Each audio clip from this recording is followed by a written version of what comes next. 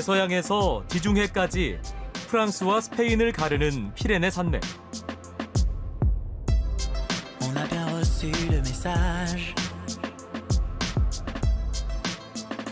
은백색 설산은 장엄하고도 아름답다. L'âge 피레네 산맥에 봄이 왔다.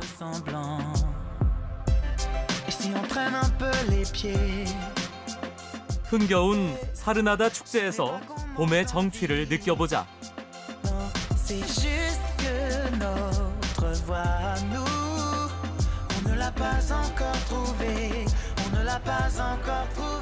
피레네 산맥과 지중해가 맞닿은 곳은 예술의 중심지다. 달리와 마티스, 피카소가 왜 이곳을 그토록 사랑했는지 알 수 있다. Choisir et se donner. 높디 높은 산들이 다양한 문화와 역사를 품고 있는 피레네 산맥.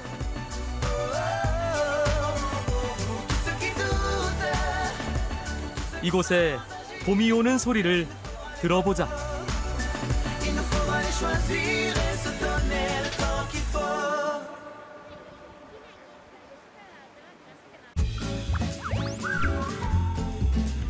인천을 출발해 프랑스 파리를 거쳐 남부의 툴루즈에 도착했다. 그곳에서 다시 차를 타고 피레네 산맥 정상 부근에 있는 유즈 생 소백으로 갔다.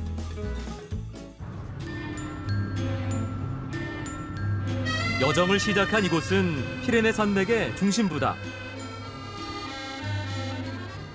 인근에 있는 픽뒤 미디산은 백두산보다 140m나 더 높다.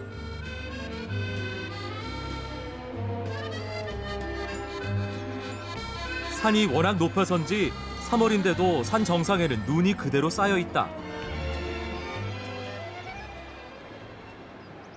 산속 깊은 곳에 작은 마을이 하나 있어 들어가 봤다. 양들이 우르르 몰려 나오고 있다.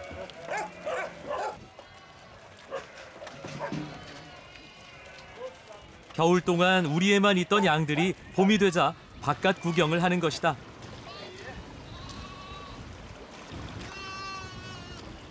삼월이 되면 새끼 양들이 태어난다. 태어난 지 며칠 안 된 새끼 양들이 정말 귀엽다.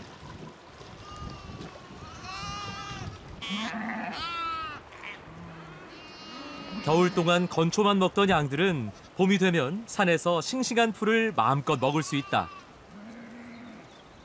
새끼 양들은 태어난 바로 다음 날부터 어미를 따라다니며 풀을 뜯는다.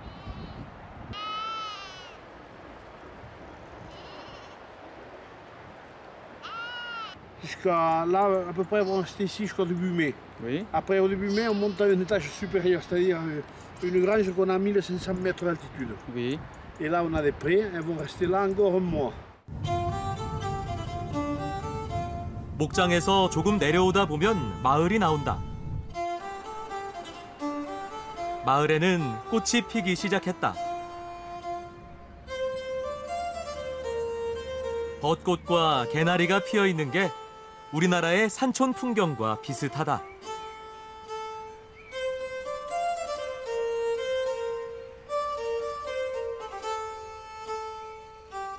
마을을 돌아다니다 보니 작은 성이 눈에 띄었다.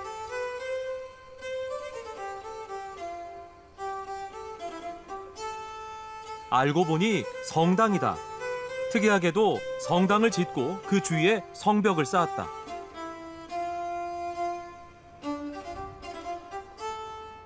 성당이 지어진 것은 11세기경. 산맥 너머 스페인 쪽에서 침략이 잦아지자 마을 주민들과 순례자들을 보호하기 위해 14세기 성당 둘레에 성을 쌓았다고 한다.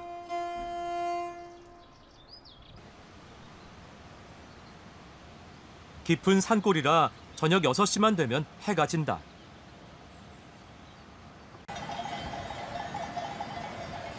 해가 지자 신기하게도 양들이 일제히 산에서 내려와 우리로 돌아온다.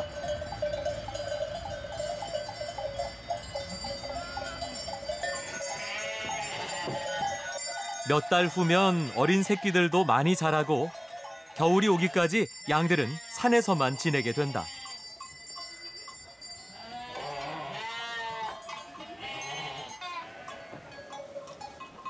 새끼 양들은 저녁마다 어미젖을 먹으며 그때를 기다린다.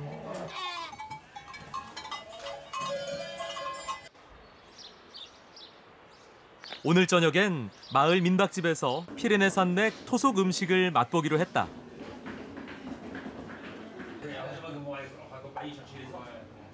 돼지고기와 감자, 배추를 넣고 끓인 수프는 감자탕과 맛이 아주 비슷하다.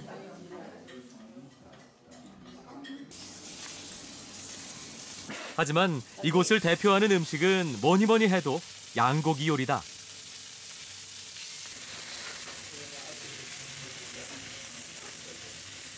조리법은 간단하다. 철판에 구운 양고기에 소금으로만 간을 하고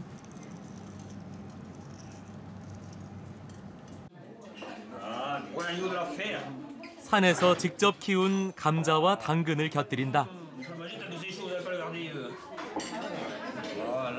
Il a un goût spécial, quoi. L'herbe qui, qui, qui broute en montagne est, est très bonne. Et ça l'engraisse naturellement l'été. 소박하면서도 깊은 맛이 산촌의 정취가 그대로 느껴진다.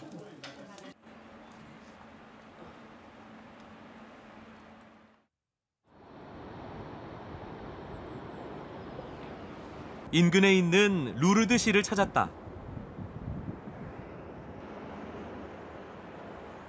피레네 산맥 자락에 있는 루르드는 인구 15,000명의 작은 도시다. 그런데 도시 곳곳에 크고 작은 호텔들이 있다. 루르드는 프랑스에서 파리 다음으로 호텔이 많은 도시라고 한다.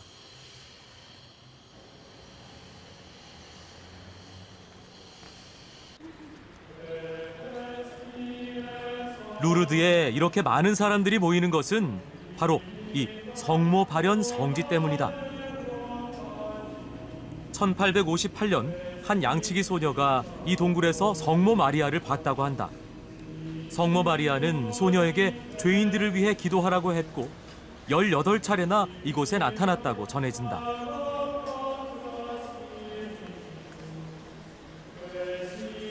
루르드는 멕시코 과달루페, 포르투갈 파티마와 더불어 세계 3대 성모 발현 성지다. 매년 600만 명이 이곳을 찾는다고 한다.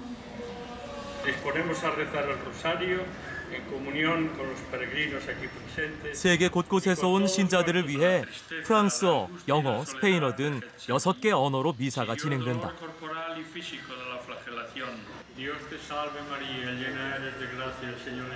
한국어는 없었지만 그 경건함은 충분히 느낄 수 있었다. Padre, si quieres, aparta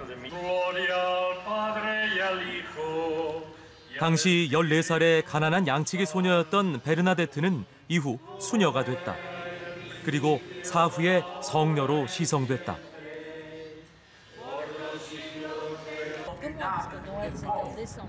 자신의 할머니가 베르나데트와 같은 마을에 살았다는 한 할머니를 만났다.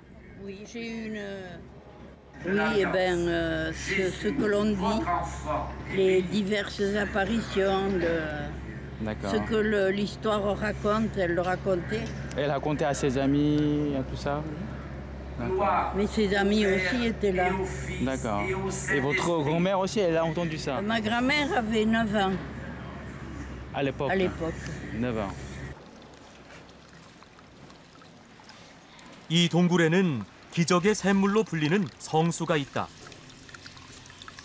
이 물을 마시거나 몸에 뿌리면 병이 낫는다고 한다.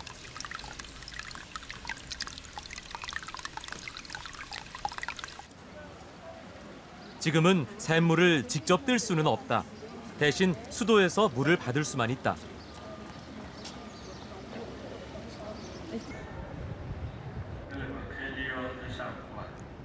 이곳이 성지가 되면서 동굴 위에 성당이 지어졌다.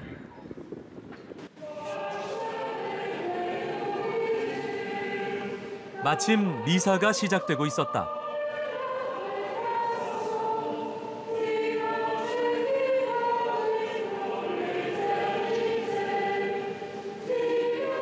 (3월이면) 아직 사람들이 많지 않을 때인데도 성당 안이 가득 차 있다.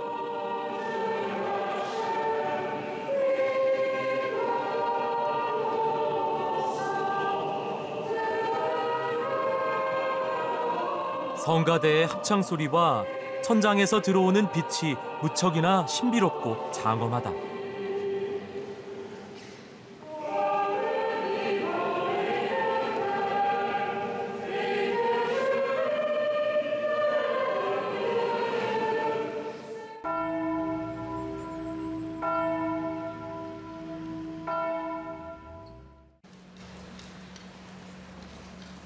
저녁이 되면 동굴에 촛불이 밝혀진다.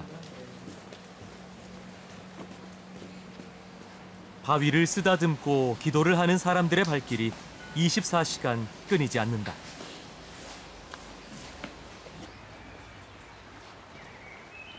핀란드에서 혼자 여행을 왔다는 사람을 만났다. 그는 말없이 꺼진 초에 불을 밝히고 있었다.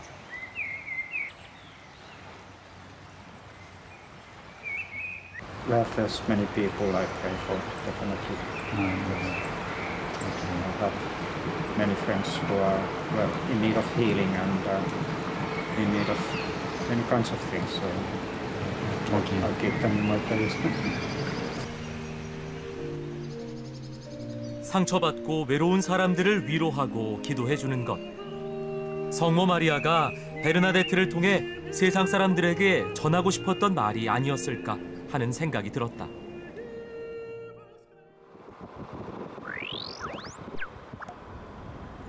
피레네 산맥 넘어 스페인 북동부의 피게레스로 향했다. 산맥 중간에 프랑스와 스페인 국경이 있다.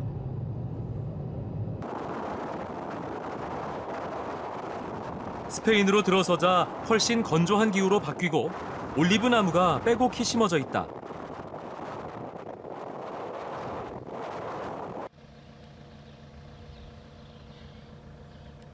올리브 농장이 있어 들어가 봤는데 시골인데도 웬일인지 아이들이 많았다.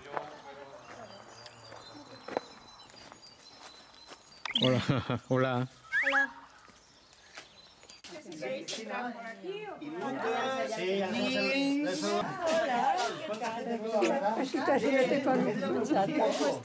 이 집에서 가족 모임이 있는 날이라고 한다. ¿eh?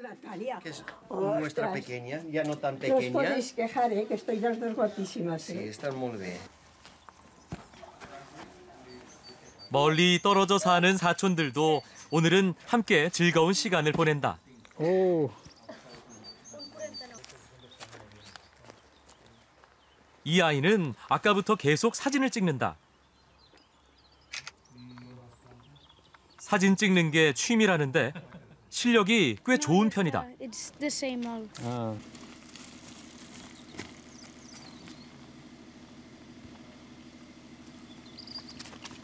Do you like uh, picture? Yes, I Ah. like.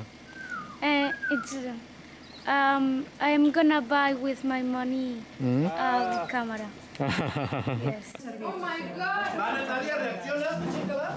다른 지역에 사는 딸과 프랑스에 사는 아들 가족이 오랜만에 고향집을 찾았다.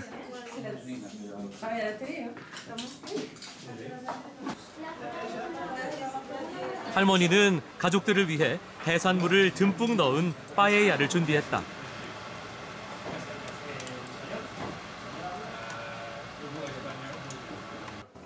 Eh, reunimos a los hijos y a un primo. Vamos a celebrar eh, los cumpleaños de cuatro o cinco a la vez. Porque como unos viven en Francia y otros eh, un poco lejos, así nos reunimos un día y celebramos.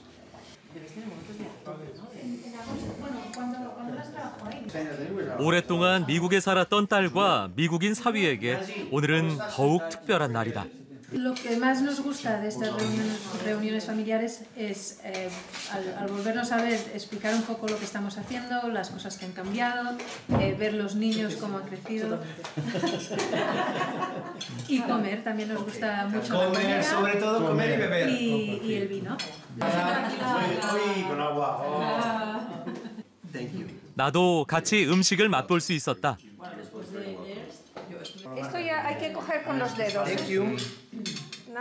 빠에야부터 새우와 가재찜까지.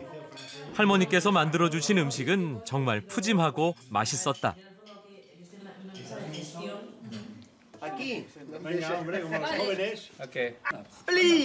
이 가족이 모두 행복하게 살기를 바란다.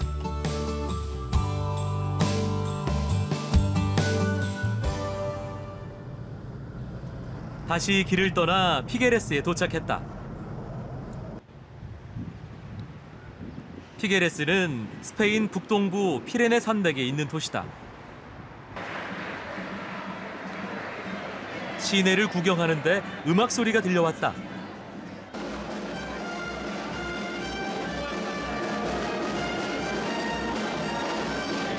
키가 4미터는 될 것 같은 왕과 왕비 인형을 따라 행렬이 이어지고 있다.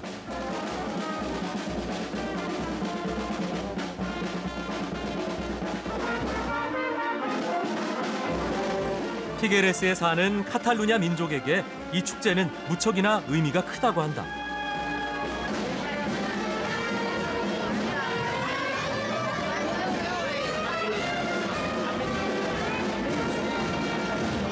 Pep Ventura, de 200 años de lo que es el escritor de, de Pep Ventura de la Sardana. Harán actos en el jardín de lo que son las sardanas. Y hay todas las entidades de Figueras, las asociaciones, que estamos invitados. 사르다나는 스페인 북동부 카탈루냐 지방의 민속 무용이다. 먼저 카탈루냐 전통 옷을 입은 인형들이 춤을 추며 축제의 시작을 알린다. 누가 이 커다란 탈을 쓰고 춤을 추나 했는데 어린 학생들이었다.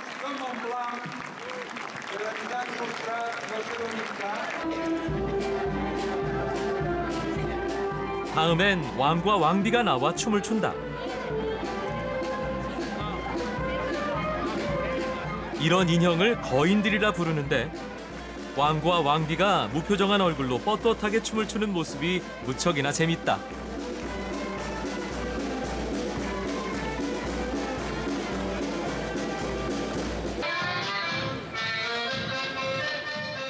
사르다나는 서로 손을 잡고 추는 집단 무용으로 남녀노소 누구나 즐길 수 있다.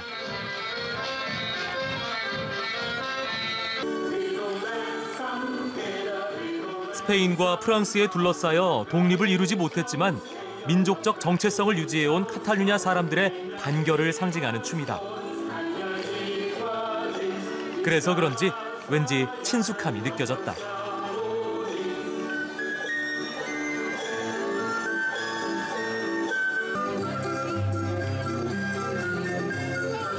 이날 축제에는 남녀노소 모두 참가했지만 역시 가장 박수를 많이 받는 것은 어린이들이다.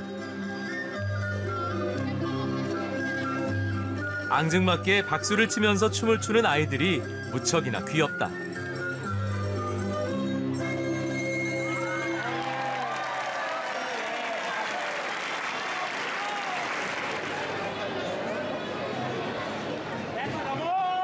다음에는 카스텔이라고 하는 카탈루냐 전통 스포츠인 인간 탑쌓기다.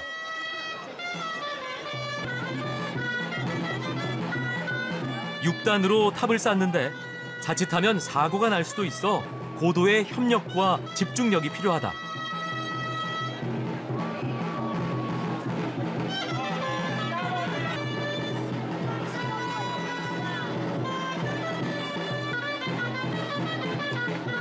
제일 위에는 몸이 가벼운 어린아이가 올라가는데 보고 있자니 손에 땀이 난다. 마침내 성공! 자신들의 문화를 끈질기게 지켜온 카탈루냐 사람들의 단결력을 느낄 수 있었다.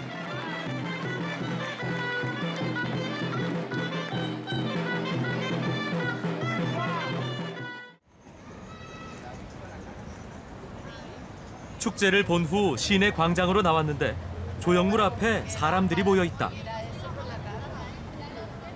원통 조형물에 비친 것은 초현실주의의 거장 살바도르 달리다.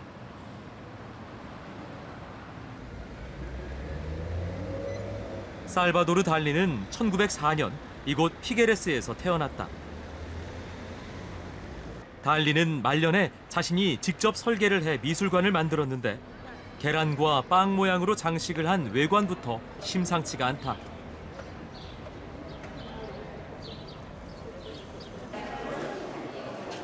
미술관 안으로 들어가 봤다.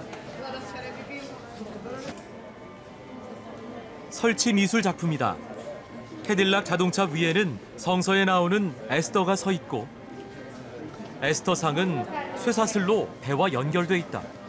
참으로 난해하다.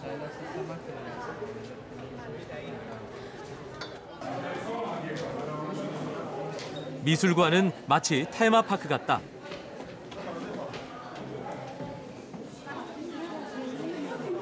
이곳엔 처음 보는 달리의 작품들이 많다. 달리는 정신분석학자 프로이트의 영향을 많이 받았다고 하는데 작품들은 생각했던 것보다 훨씬 더 환상적이고 기이한 느낌이다.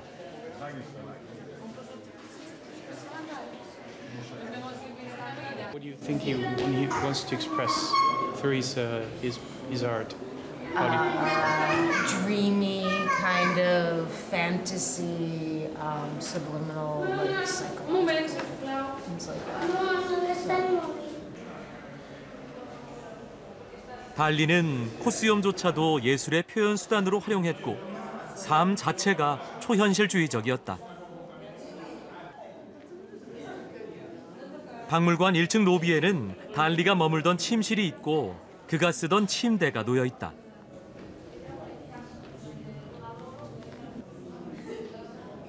침대 다리는 물고기 괴물 모양이고 침대 머리 쪽에는 해골 모형이 놓여 있다.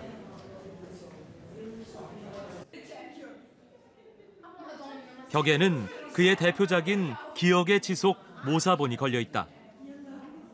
치즈처럼 녹는 시계로 유명한 작품이다.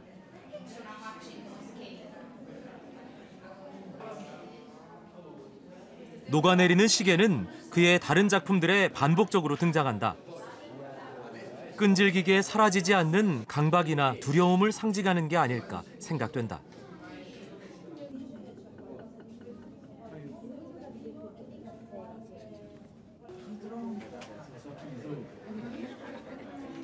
다른 작품들과는 달라 보이는 그림 하나가 눈에 띈다. 그가 스무 살 때 그린 알게르 항구다.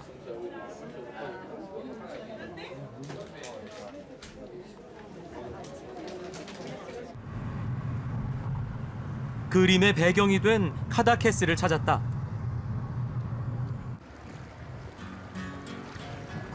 티게레스에서 차로 50분 거리에 있는 카다케스는 피레네 산맥과 지중해가 만나는 항구 도시다.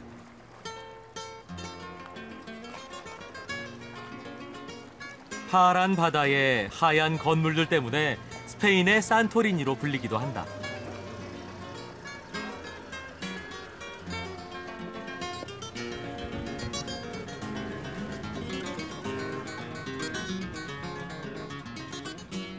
달리는 어렸을 때부터 이곳을 좋아했고 결혼 후 이곳에 살며 작품 활동을 했다.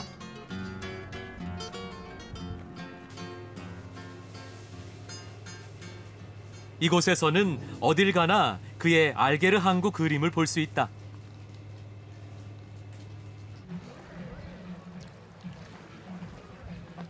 알게르 항구는 카다케스 구시가지 앞에 있는 작은 선착장이다.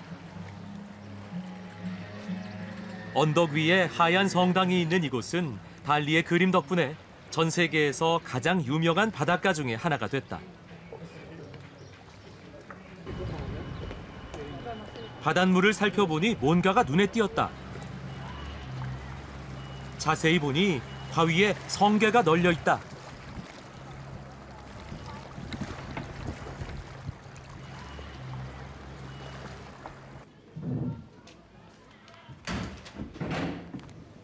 생선 가게에서는 방금 들어온 성게를 팔고 있다. 성게는 달리가 가장 좋아하는 음식이었고 그의 그림에도 자주 등장한다. 달리는 딱딱한 껍질을 깨는 것이 예술의 본질이라고 생각했다고 한다.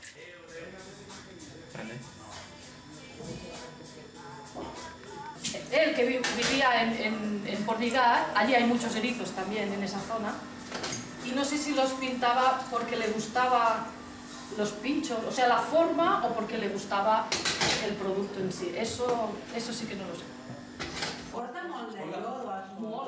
이유는 모르겠지만 그 맛은 무척이나 달달하고 향기로웠다.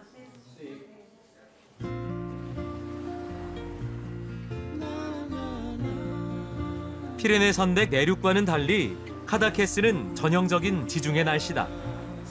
patria querida.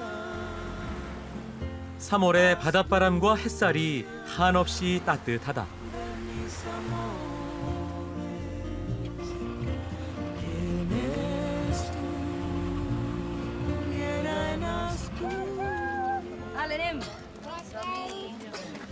유치원 아이들이 해안가에 나들이를 나왔다 돌아가고 있다. 줄을 잡고 선생님을 따라가는 모습이 너무나 귀엽다.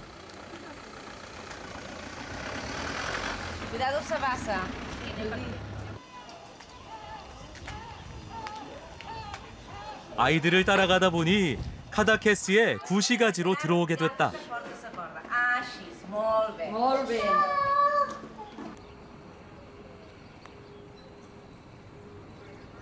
온 김에 구시가지 구경을 했다.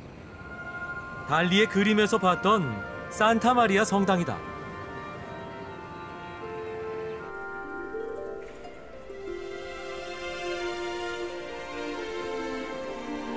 이 성당 역시 달리의 예술에 영향을 줬다.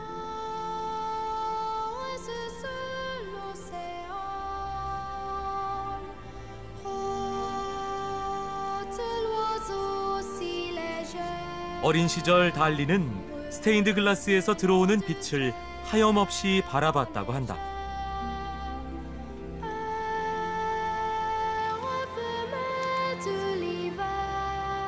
피레네 산맥과 지중해가 만나고 다양한 문화가 어우러진 카다케스. 여기에 살며 달리는 자신을 얽매고 있는 현실에서 벗어나고 싶어 하지 않았을까 이런 생각이 들었다.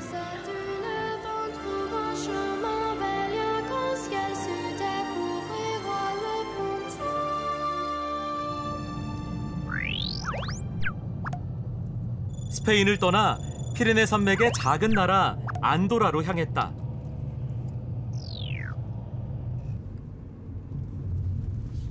산속으로 한참을 가니 스페인과 안도라의 국경이 나타난다.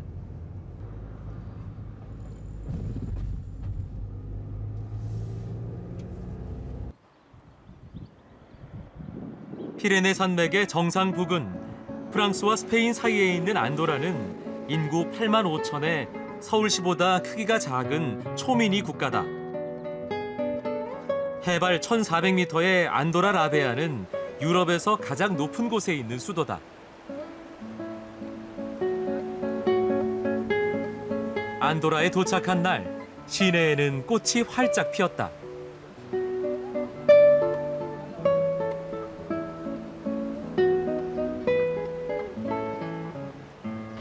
산에서 흘러나오는 냇물도 완전히 녹아 낚시하는 사람들을 곳곳에서 볼 수 있다.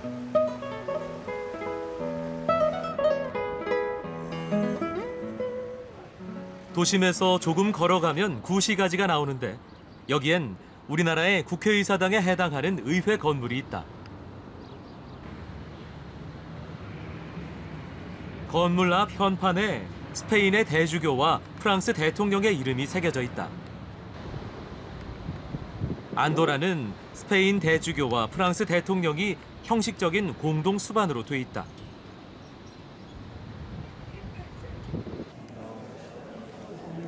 의회 건물 안으로 사람들이 들어가기에 따라갔다.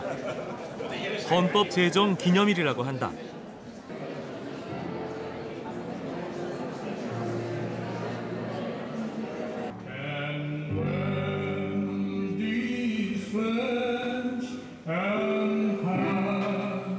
유럽의 마지막 봉건 국가였던 안도라는 1993년 헌법 제정으로 공화국이 됐고 유엔에도 가입했다.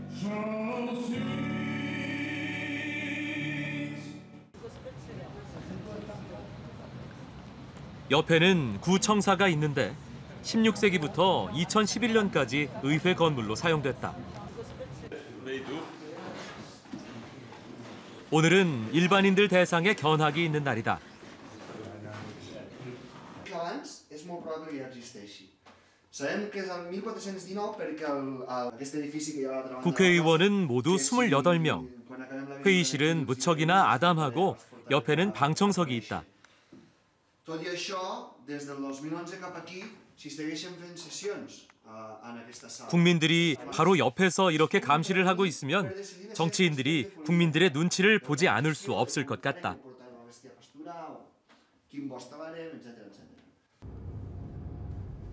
저녁에 시내로 나가봤다.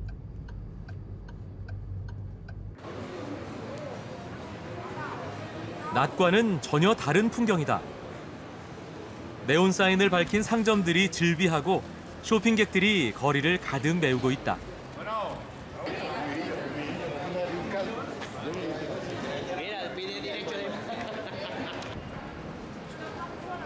안도라는 나라 전체가 면세 지역이다. 때문에 유럽 곳곳에서 이곳으로 쇼핑을 하러 오는데 그 수는 매년 천만 명이 넘는다고 한다.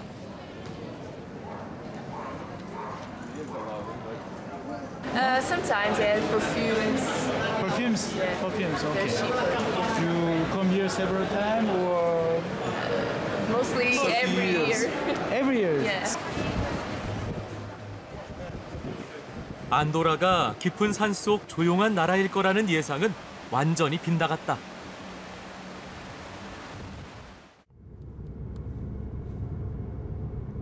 안도라에서 프랑스로 향했다.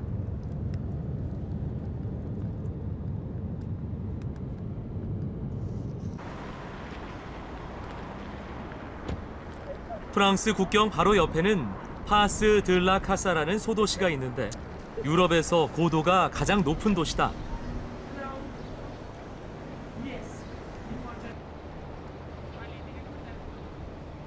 안도라는 스키의 나라다.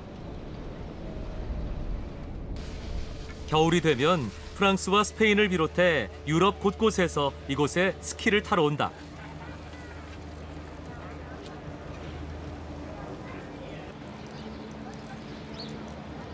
삼월 중순이 되니 날이 포근해져 어느덧 고드름이 녹고 사람들은 반팔 옷을 입고 있다.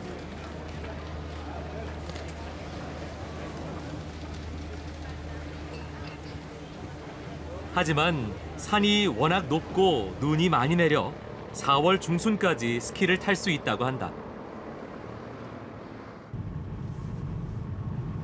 스키장 바로 옆에는 안도라와 프랑스 국경이 있다.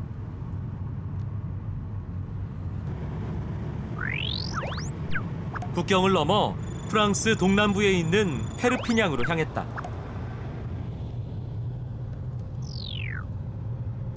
길을 가다 보니 산 꼭대기에 있는 성이 하나 보였다.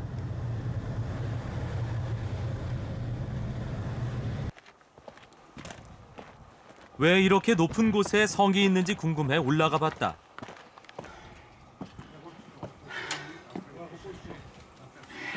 금방 올라갈 수 있을 것 같았는데 의외로 높다.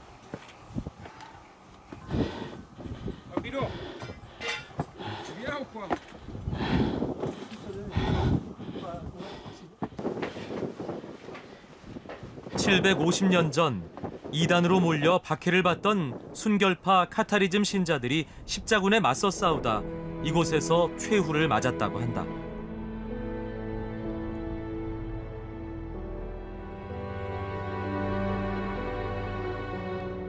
이 아름다운 풍경 속에 그런 비극적 사연이 숨어 있는 줄은 몰랐다.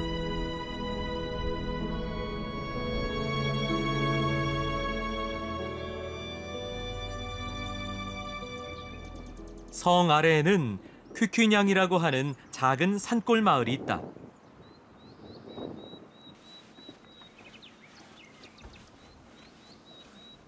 마을을 둘러보는데 주민 두 명이 화분을 손질하고 있다.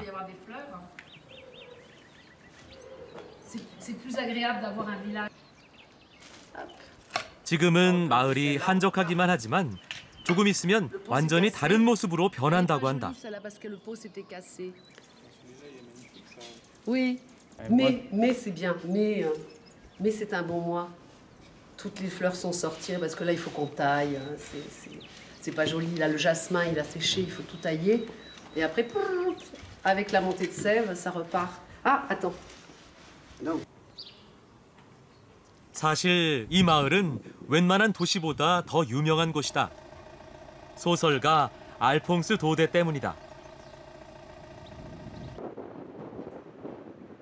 알퐁스 도데의 단편 소설집 풍차 방앗간 편지 중 퀴퀴냥의 사제의 무대가 이곳이다.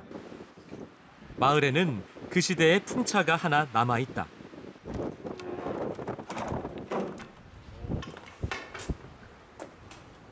parle de, de Jean-Luc aussi, là.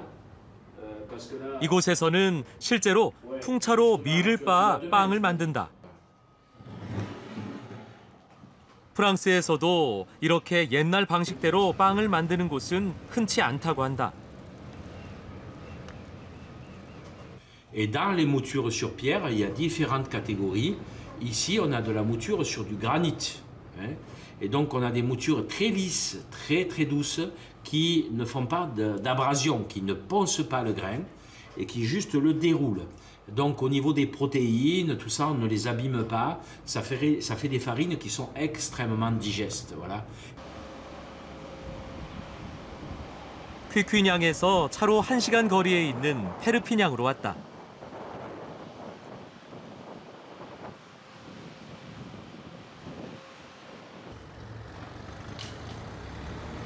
피레네 산맥 동쪽 끝자락에 있는 페르피냥은 지중해와 가까워 날씨가 무척 온화한 편이다.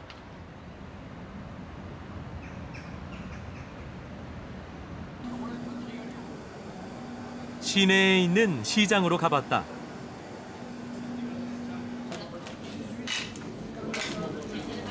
여기에서 지중해까지는 차로 불과 20분 거리. 때문에 생선들이 무척이나 다양하고 싱싱하다.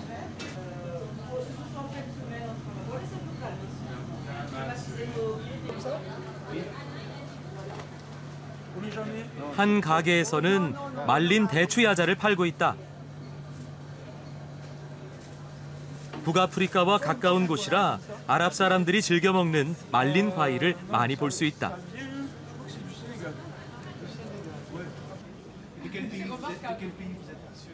파프리카 가루나 고추 같은 향신료도 이 시장에서 쉽게 구할 수 있다. Pourquoi on nous a plus ou moins appelé Pyrénées-Orientales C'est parce qu'avant, on faisait beaucoup de commerce avec l'Orient. Et ça arrivait par les ports de Collioure. Les bateaux, ils arrivaient et ils nous ont amené beaucoup de, beaucoup de choses, dont les épices, dont euh, plein de choses qu'on ne connaissait pas.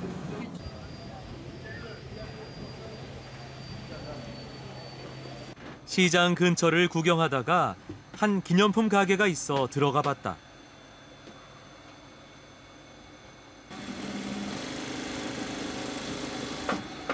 안에선 천으로 기념품을 만들고 있었다.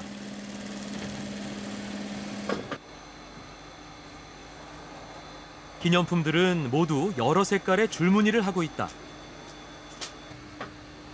페르피냥은 프랑스에 있는 북부 카탈루냐 지방이다. 이 줄무늬는 카탈루냐 지방의 전통 문양이다.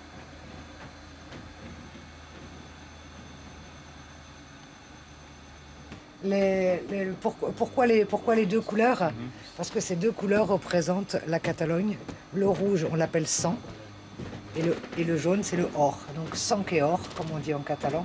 Voilà, ce sont les- nos deux couleurs euh, de la région. 카탈루냐와 무어 왕국이 전쟁을 할 때 카탈루냐 왕의 황금색 방패에 피 묻은 손가락을 문지른 것이 이 깃발의 기원이라고 한다. 카탈루냐 사람들은 자신들의 문화에 큰 자부심을 가지고 있고 도시 어디에나 이 깃발이 걸려 있다.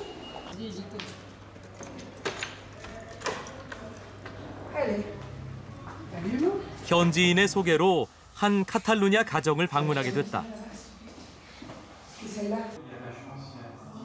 벽에 걸려 있는 카탈루냐어 시가 눈에 띈다.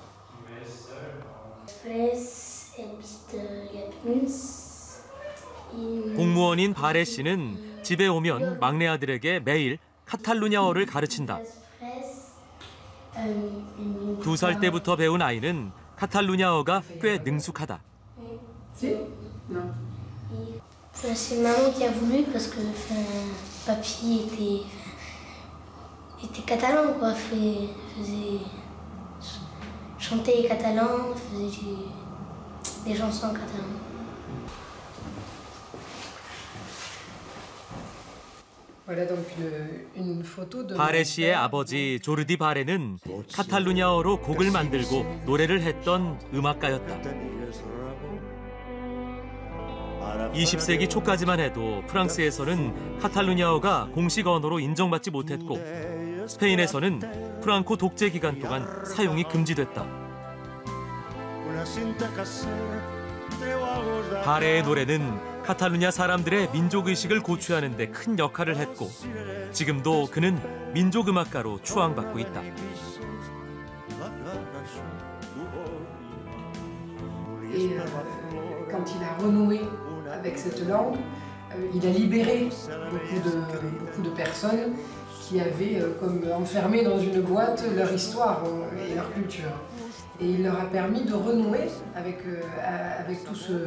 euh, euh, de façon libre.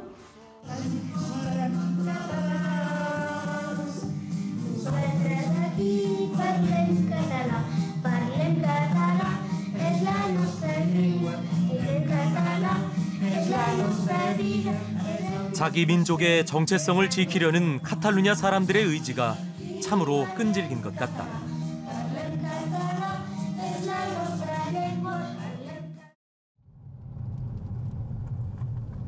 마지막 여정으로 인근 지중해에 있는 콜리우르로 길을 떠났다.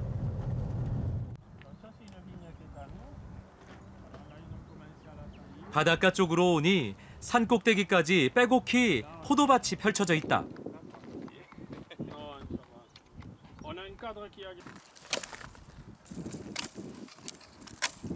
포도밭에서는 봄을 맞아 가지치기가 한창이다.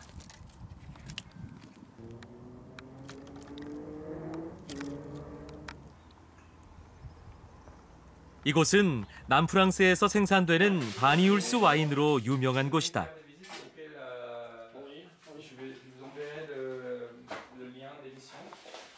바니울스 와인은 발효 중인 와인에 알코올을 첨가해 발효를 중단시킨다. 이렇게 하면 알코올 도수는 높아지면서 달콤한 맛이 유지된다.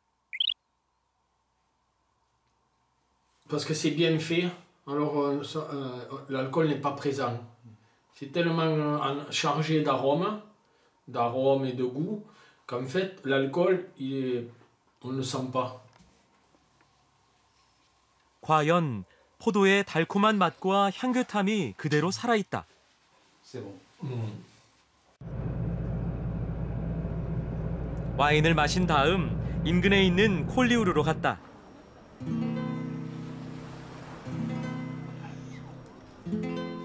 프랑스의 동쪽 끝 지중해에 접한 콜리우르는 작고 아름다운 휴양 도시다.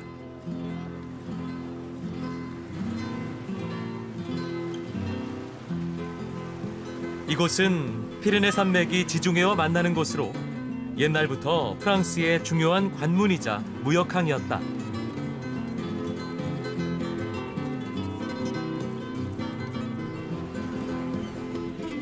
때문에 항구 양쪽으로 요새들이 지어져 있다.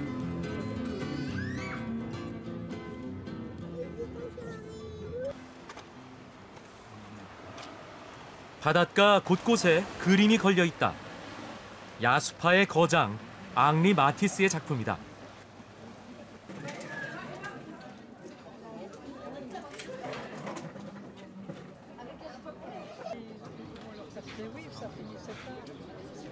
콜리우르는 야수파의 중심지였다.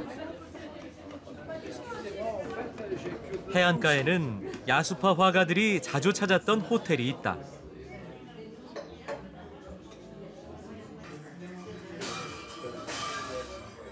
마티스를 비롯한 야수파 화가들은 콜리우르의 황금색 햇빛에 매료됐다. 그리고 강렬하고 단순한 색으로 그림을 그렸다.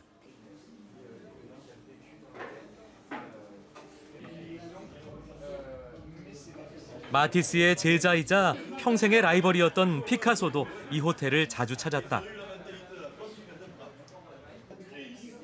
피카소가 선물한 그림이 소장돼 있다. Ils avaient un petit peu leur lieu de. Ils avaient un peu pris leur habitude ici, si vous voulez, que ce soit juste pour boire un verre, pour manger un plat.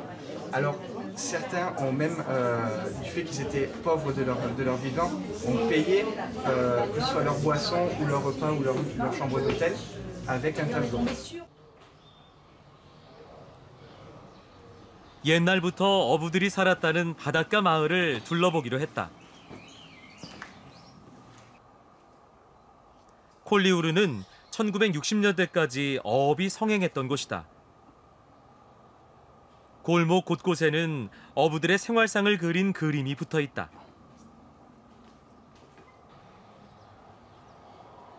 지금은 어부 대신 예술가들이 많이 산다. 그래서 그런지 골목 구석구석 예쁘지 않은 곳이 없다.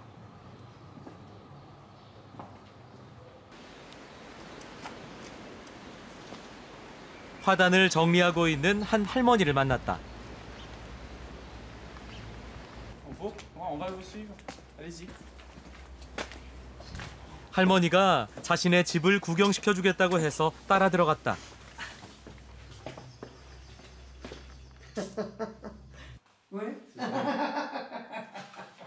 할머니는 조각가다.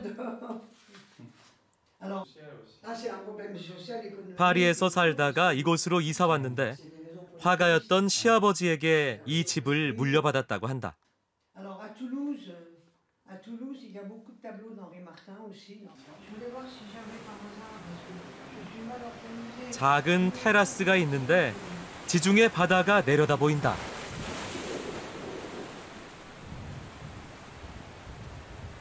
이런 곳에 살면 저절로 예술 작품이 나올 것 같다. L'avantage qu'il y a la mer et la montagne, dès qu'on a envie de se promener, de marcher, on monte tout de suite. On a une vue, un, un panorama extraordinaire. Euh, C'est pas, ce ne sont pas des montagnes très hautes, mais c'est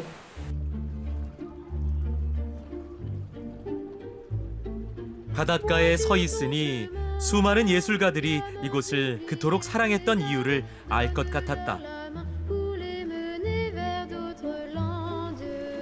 피레네 산맥이 끝나는 이곳 콜리우르에서 석양을 바라보며 여정을 마무리했다.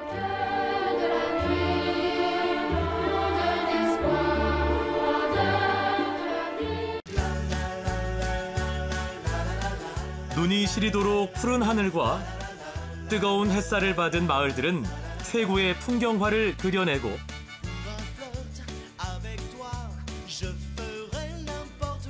자유로운 영혼과 뜨거운 열정을 가슴에 품은 사람들이 어울려 살아가는 곳.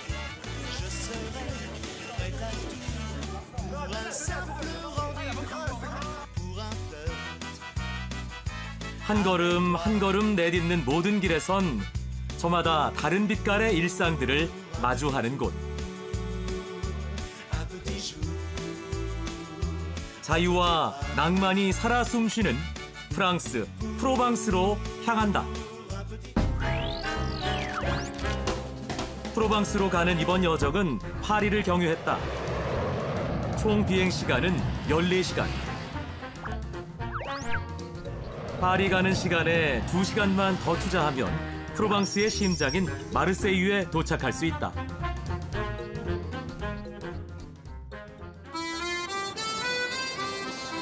프랑스 국가에도 등장하는 도시 마르세유는 파리에서 남서쪽으로 780km 떨어진 지중해의 무역 항이자 프랑스 제2의 도시다. 아시아, 아프리카, 유럽을 이어주는 항구 도시인 덕에 프랑스의 여타 도시들과는 전혀 다른 독특하고 개방적인 분위기를 마주할 수 있는 곳이다.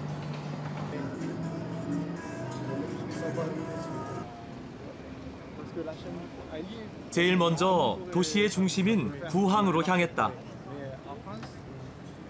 기원전 600년경부터 지중해 무역의 근거지였던 이곳 구항은 마르세유의 과거와 현재를 대표하는 랜드마크인 동시에 마르세유를 찾는 여행자들이 여정을 시작하는 출발지이기도 하다.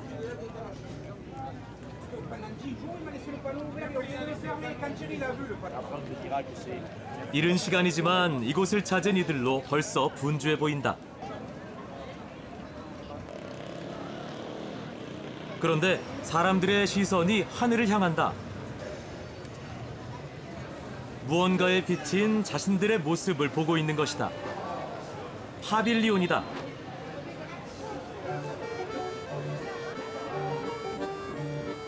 마치 공중에 떠 있는 거울인 듯한 이 건축물은 건축가 노먼 포스터의 작품이다. 파빌리온은 뜨거운 햇살 속 구항을 찾은 모든 여행자들에겐 짧은 휴식을 위한 하늘의 대형 그늘막인 듯하다. 흑빛의 생장 요새와 연결된 국립박물관 뮤셈도 보인다. 어부의 그물망을 닮은 이곳은 파빌리온과 더불어 유럽 문화 수도 마르세유의 현재를 상징하는 건축물이다. 구항에선 마르세유 현지인들의 일상도 마주할 수 있다. 매일 아침 피시 마켓이 열리기 때문이다.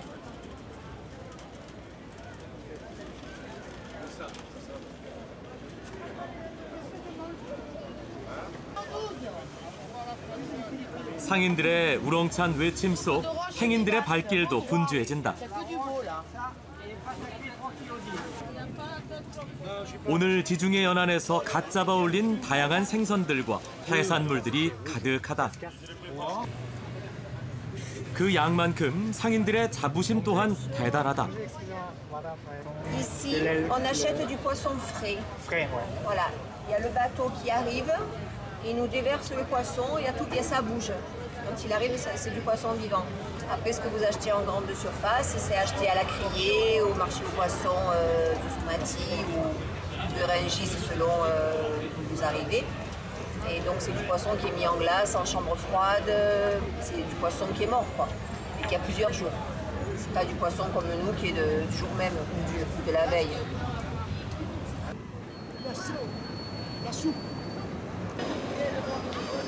비록 작은 규모의 노상 피쉬마켓이지만 어부들에겐 삶을 살아가는 터전인 동시에 마르세유를 찾은 여행자들에겐 현지인들의 느린 듯 치열한 일상을 조금이나마 들여다볼 수 있는 좋은 장소인 듯하다.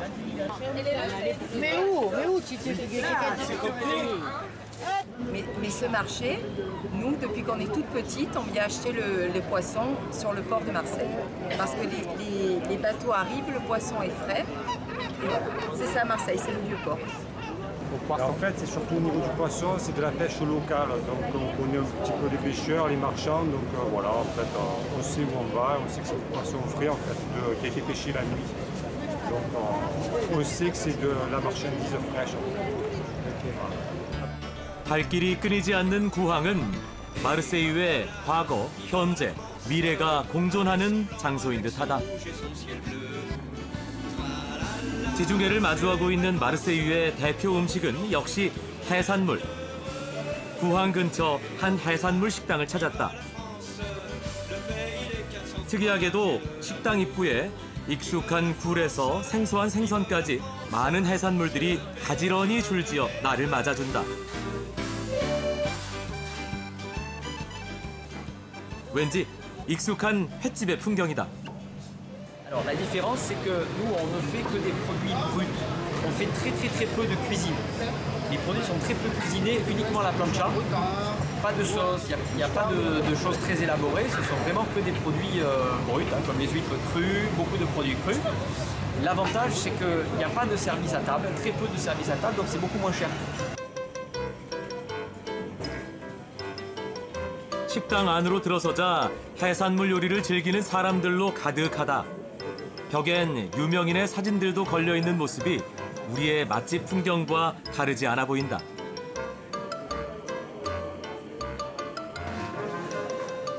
대부분의 손님들이 해산물을 생물로 즐기고 있다. 그래서인지 주방 안은 해산물을 손질하느라 분주하다. 이곳에선 원하는 해산물의 종류와 양을 정해 주문해서 바로 생물로 손질해 내준다고 한다.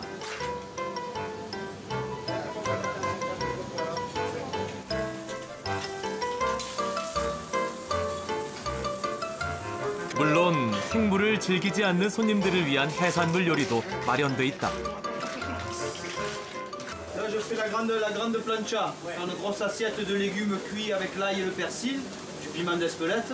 On fait griller des gambas, des langoustines, du crabe. Et après, on va tout mélanger et on va se manger ça.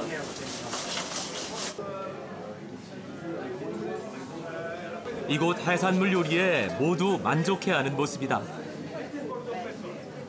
C'est toujours la même qualité. Donc c'est très rare de, trouver des endroits où on ne change pas de, qualité, où il n'y a pas des, hauts et des bas. Là, c'est toujours la même qualité, c'est toujours été euh, la fraîcheur des produits, euh, le débit et le nombre de, clients. Je sais très bien qu'ils sont de très, très bonne qualité, de très bonne variété. Euh, il, faut venir ici. Euh, si on veut manger des fruits de mer à Marseille, il faut venir chez toi nous. 마르세유의 가장 높은 곳에 위치한 또 하나의 랜드마크를 찾았다. 바로 노트르담 드 라가르드 성당이다. 1864년부터 도심 한복판에 석회암 언덕을 지켜온 이 성당은 오래된 항구 도시의 상징이자 이정표다. 아기 예수를 아는 11m 높이의 황금색 성모 마리아상은 현지인들에겐 좋은 엄마라는 애칭으로 불린다고 한다. 이곳은 마르세유 전체를 한눈에 담을 수 있는 유일한 장소이기도 하다. 성당이 있는 160m 언덕 정상에 올라서면 마르세유와 지중해의 전경이 파노라마로 펼쳐진다. 그래서 이곳은 현지인들에겐 일상의 쉼표를 위해 여행자들에겐 여정을 정하기 위해 자주 찾는 장소라고 한다. 마르세유엔 특별한 석양이 있다. 해가 지중해에 내려앉자 지중해의 태양과 석회암 절벽이 어우러져 오묘한 핑크빛을 만들어낸다.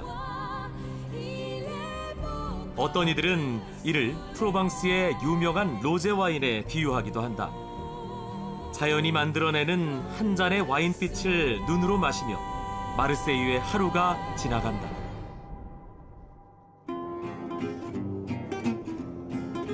아침 일찍 레보드 프로방스를 찾았다. 새하얀 석회암 절벽 위에 자리한 작은 마을은 세상에서 가장 아름다운 마을 중 하나다.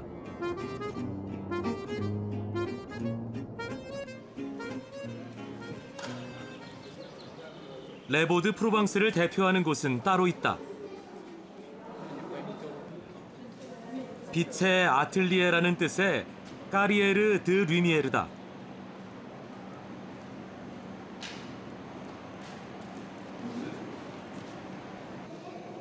안으로 들어서니 반듯하게 잘려나간 수많은 회색 벽들이 가지런히 정렬해 있는데 생소한 공간이다.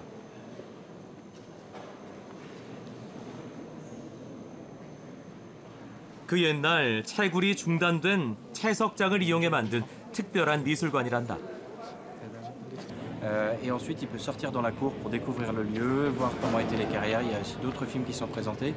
Et voilà, le, le but, c'est que le, le- le visiteur vive une expérience tout à fait particulière, quelque chose de très sensible. C'est pas une démarche intellectuelle, c'est vraiment une démarche où on profite, on découvre et on a un appel à l'émotion et au sentiment. Bien sûr, après, dans la cour, on a des explications sur l'histoire de l'art, sur ce qu'on a voulu faire. Mais vraiment, l'idée est que la première euh, vue des visiteurs soit quelque chose qui les prenne au cœur et qui soit une démarche d'émotion et de, et de cœur. 조명이 꺼지고 이 세상에 없던 풍경이 눈앞에 펼쳐진다.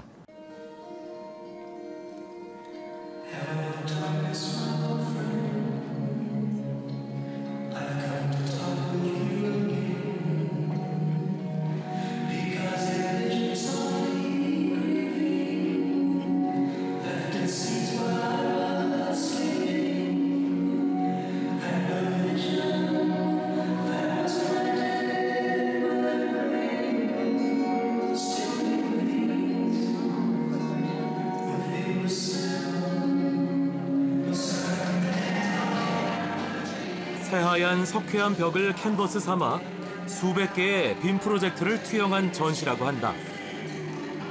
채석장이라는 웅장하고 닫힌 공간을 가득 채운 이미지들은 또 하나의 우주를 만들어낸다. 60년대 대중 팝문화를 주제로 한 화려한 영상과 음악은 보는 이로 하여금 그 시대에 있는 듯 착각하게 한다. 이곳에선 매년 다양한 주제로 보다 폭넓은 감동을 제공한다고 한다. Ce sont trois réalisateurs euh, qui euh, ont décidé de présenter Picasso par rapport à ses contemporains. Donc vous avez des peintres espagnols un petit peu moins connus comme Zuolaga, comme, euh, comme Russignol. Et en fait l'idée est de montrer euh, Picasso par rapport à ses contemporains et montrer comment lui il a apporté une rupture, un vrai changement. C'est pour ça qu'au début on a une peinture plutôt conventionnelle de, la peinture de l'Espagne du début du XXe siècle. Il y a une rupture brutale qui arrive avec Picasso. Et ensuite eh bien, on voit comme Picasso est capable de se renouveler tout au long de sa carrière et en permanence ça change. 이번 전시 주제는 피카소와 위대한 스페인 화가들이다.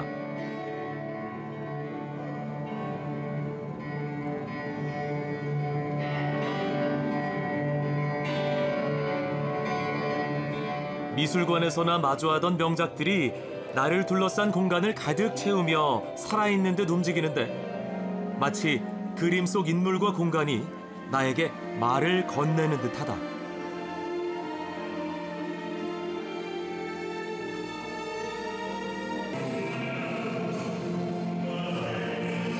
정말 특별한 느낌이다. 이곳을 찾은 이들 역시 처음 마주하는 미술 공간에 한껏 빠져든 모습이다. Alors moi, mon sentiment, c'est toujours une découverte, de venir ici déjà au Carrière des Lumières, et puis à chaque fois de découvrir euh, bah, des peintres. Et euh, bah, c'est un lieu magique à, à- à découvrir, et c'est toujours un enchantement euh, chaque année de découvrir euh, ce magnifique spectacle. Voilà. Et donc, si vous voulez, c'est un autre univers qui est beaucoup plus prenant parce que c'est fermé, c'est très concentré. En plus, ils ont bien su cibler les artistes euh, espagnols, le, le flower pop aussi, donc c'était très, c'était très beau. Je suis très impressionné, très, 조금은 생소하고 어려울 수 있는 예술 작품을 이런 공간과 기술을 통해 좀 더 많은 이들이 좀 더 쉽게 즐기도록 노력하는 모습이야말로 프로방스를 특별하게 만드는 힘이 아닐까 하는 생각을 해본다. 빛의 여운을 뒤로 하고 다시 마르세유로 향한다.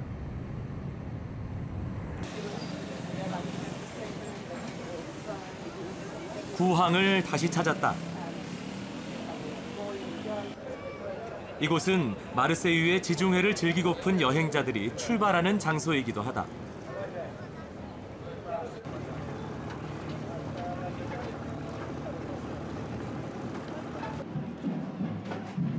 나도 배에 올랐다. Donc Marseille, qui dure de ses 2600 ans d'histoire, est la doyenne. 배가 출발하면서 구항과 마주하게 되는데 항에서 바라볼 때와는 또 다른 느낌의 풍경이다. 20여 분 지중해 바다를 내달리자 깎아지른 돌섬 위 우뚝 서 있는 회색빛 성벽과 흑빛 성이 눈에 들어온다.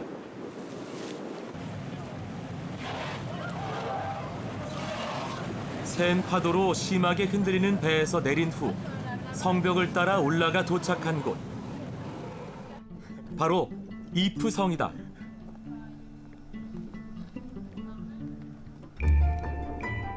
촘촘하게 만들어진 돌벽과 조그마한 창에 자리한 녹슨 창살들이 다소 위협적으로 느껴진다. 감옥으로 알려졌지만 원래는 요새였다고 한다. Ensuite, vous avez eu donc le fort, il a été bâti à peu près vers euh, 1530, il était terminé, voilà, 1530. Par euh, François Ier, il a été bâti, donc lui il voulait euh, gérer Marseille, empêcher les invasions, surtout aussi euh, au niveau du port maritime de Marseille et euh, le port commercial, du coup, parce que c'était un enjeu stratégique. Ensuite, euh, il est devenu prison à peu près vers euh, 1580, voilà, 이후 감옥으로 쓰여진 이곳은 주로 종교범들과 정치범들을 수감하는 장소였다고 한다.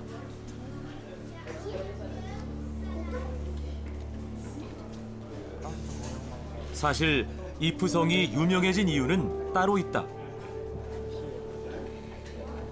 바로 프랑스 작가 알렉산드르 뒤마의 소설 몬테크리스토 백작의 중요한 배경이기 때문이다. 주인공 단테스가 누명을 쓰고 갇힌 곳. 파리스 신부를 만나고 복수를 시작하게 된 감옥이 바로 이곳 이프성이다. 소설 속 단테스가 갇힌 후 느꼈을 절망과 공포가 그대로 전달되는 듯하다.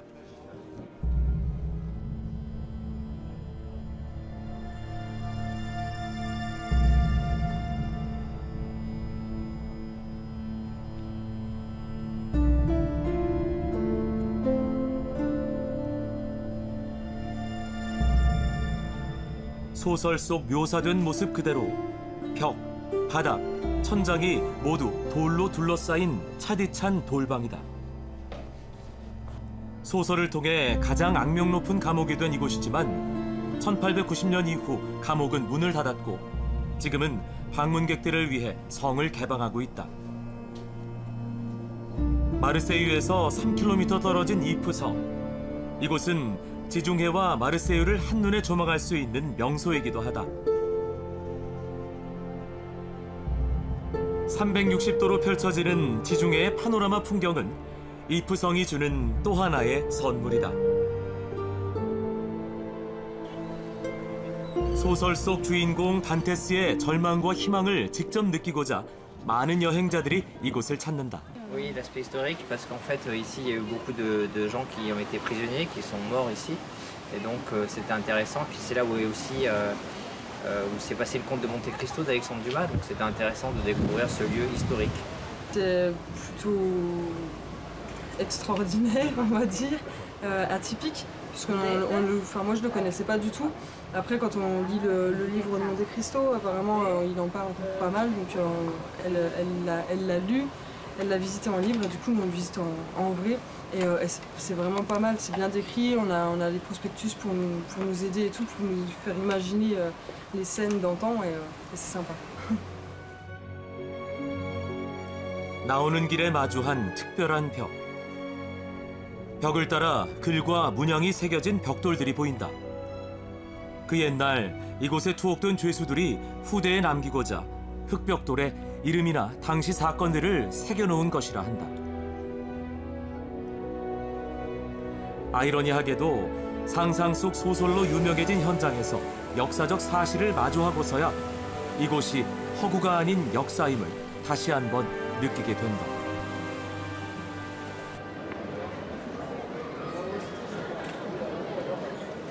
늦은 밤 프리쉬 라 벨드메를 찾았다. 과거 공장 단지에 담배 공장을 재창조해 현재는 젊은 예술가들을 위한 창작 공간으로 활용하고 있다고 한다.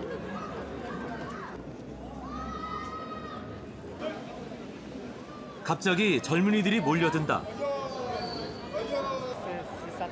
순식간에 기다란 줄이 만들어지고 한 명 한 명 줄지어 올라가는 모습에 도대체 무슨 일인지 궁금해진다.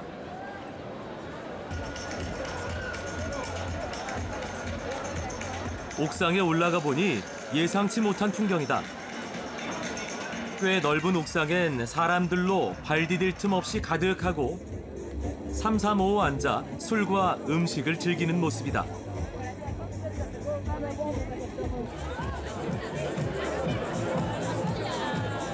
한쪽에선 화려한 조명과 귀를 힘껏 두드리는 음악에 맞춰 저마다 몸을 흔들어댄다.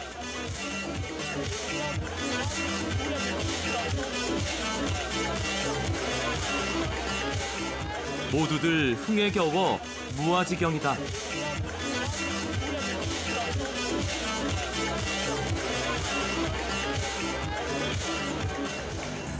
여름이 되면 이곳 라프리쉬에선 매 주말 루프탑 파티를 연다고 한다.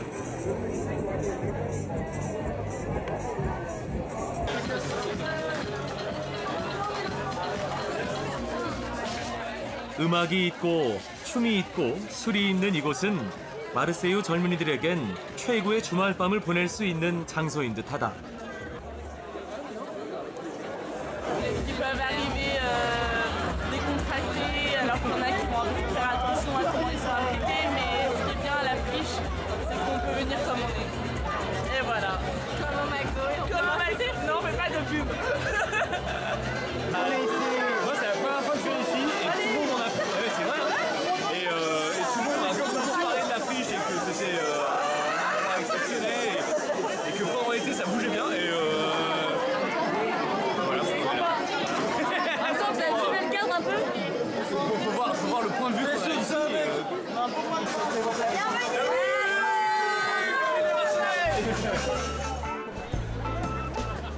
우연히 만난 이 밤 풍경은 이방인에겐 또 다른 마르세유의 일상을 들여다보게 한 시간이었다.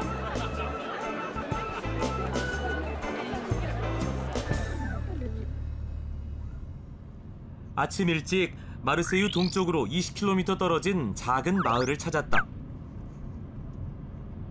프로방스의 최고 휴양 도시 중 하나인 카시스다. 좁은 골목길을 나오면 작은 항구를 마주한다.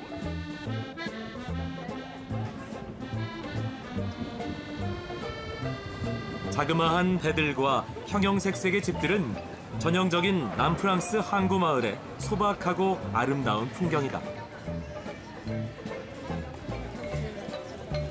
이른 아침 이 앙증맞은 항구 마을엔 벌써 여행자들로 가득하다. 모두들 이 여유로운 풍경 속의 주인공인 듯 한가로워 보인다.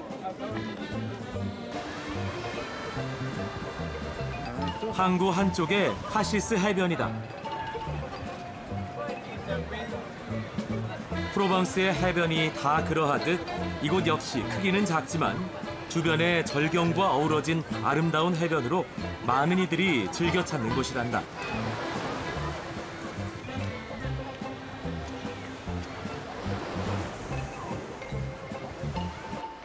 아직은 이른 여름이지만 해변은 많은 이들로 북적인다.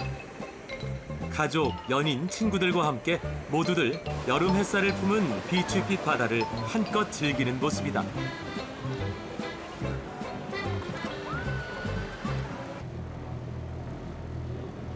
작은 항구 도시 카시스를 대표하는 곳은 따로 있다.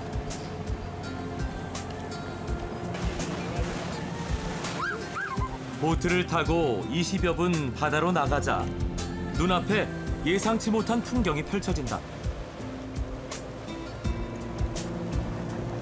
거대한 석회암 절벽들이 끝없이 줄지어 독특한 해안 지형을 만들어내는데 바로 국립공원인 칼랑크 해안이란다. 마르세유와 카시스 사이 24km에 걸쳐 형성된 칼랑크. 투명한 하늘과 빛빛빛 바다 그리고 그 사이로 오랜 세월 동안 새겨진 흔적을 품은 거대한 석회암 절벽들이 만들어내는 경이로운 풍경에 여행자들은 눈을 떼지 못한다.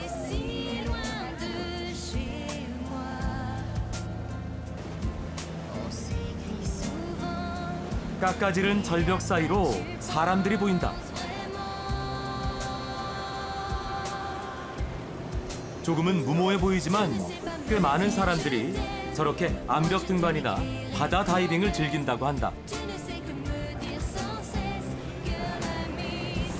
모두들 저마다의 activity로 이 흔치 않은 자연 칼랑크를 즐기고 있는 모습이다.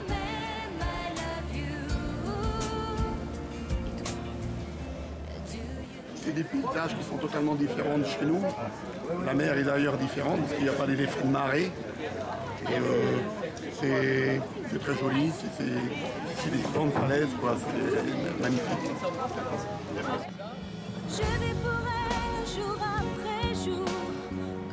칼랑크를 직접 체험하는 또 하나의 특별한 방법은 트레킹이다.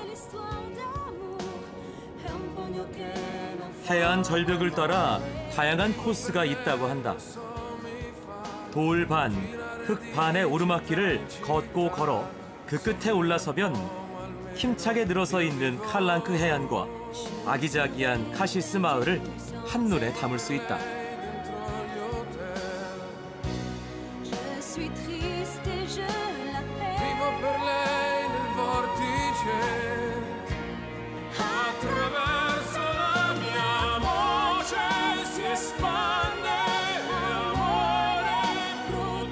깎아지른 절벽의 공포가 심장박동을 빠르게 하는 바로 그때 이 절벽을 등반해 올라오는 용감한 친구를 만났다. Je viens de me faire interviewer par la télé coréenne. Euh, euh, bah, c'est du plaisir, c'est beaucoup de plaisir. Après, ça se rapproche un peu de la, mé- la méditation aussi, euh, parce qu'on est seul euh, avec le rocher en train de grimper. Donc c'est euh, du plaisir, euh, du calme. euh, euh, voilà, je suis content d'être dans la nature aussi. Euh, Bravo aux c'est auteurs. le fait d'avoir la mer juste à côté euh, de, de rochers. euh, euh, c'est des, des falaises qui sont, qui sont magnifiques, qui sont sauvages. Il y a un parc naturel, donc c'est protégé. 노맹의 아찔한 인터뷰에 감사할 따름이다.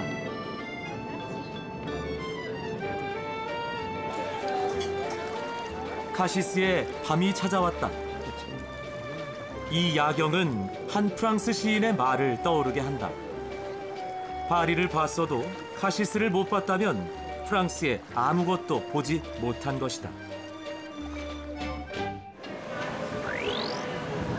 마르세유에서 북서쪽으로 두시간을 달려 도착한 곳 아르리다.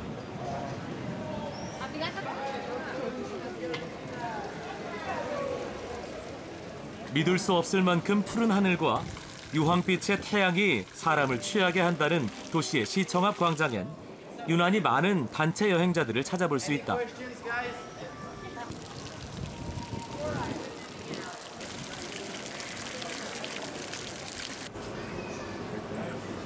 바로 이곳이 고흐가 사랑한 마을이기 때문이다. 에스파스 반 고흐를 찾았다.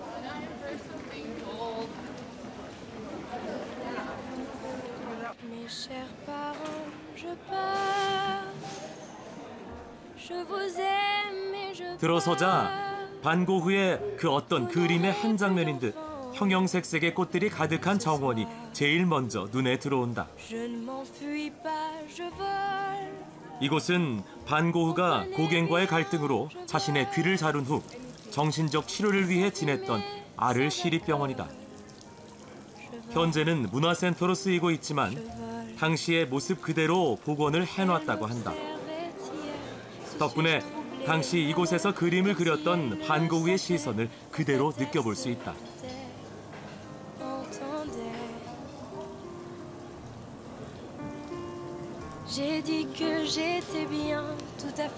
여기에서 마주하는 풍경들 첫눈엔 아름답지만 왠지 시간이 지날수록 쓸쓸함이 밀려온다.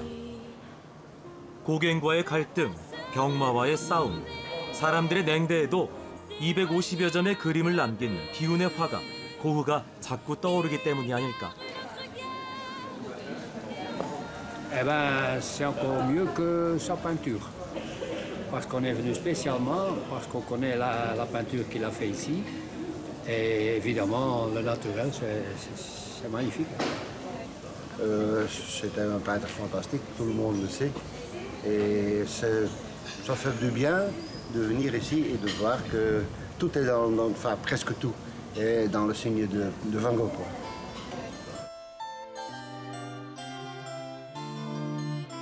골목을 지나다 보면 예상치 못한 풍경을 만나게 된다.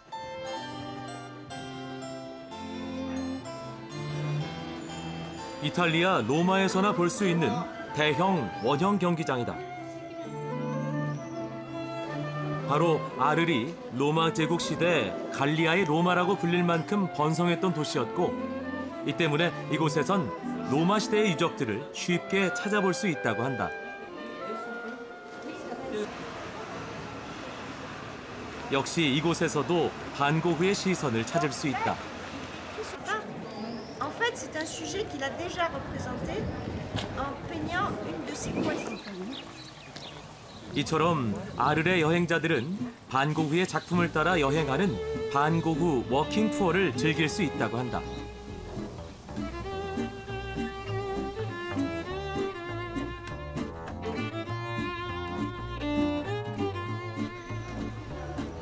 마지막으로 찾은 장소 반고흐 카페다.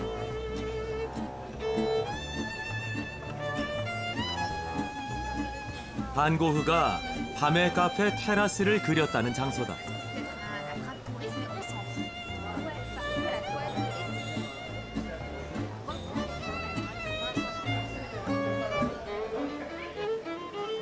화가의 시선을 따라온 이들은 노란빛 영감이 가득한 이곳에 앉아 한 잔의 커피를 마시며 비운의 화가 반고흐의 희노애락이 교차했던 아를의 여정을 마무리한다.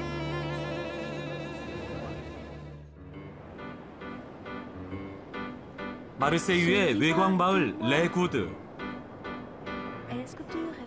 자그마한 언덕 위 파스텔톤 집들과 소박한 배들이 만들어내는 그림은 세상에서 가장 평범한 남프랑스 어촌 마을이다. 한편에 위치한 작은 레스토랑을 찾았다.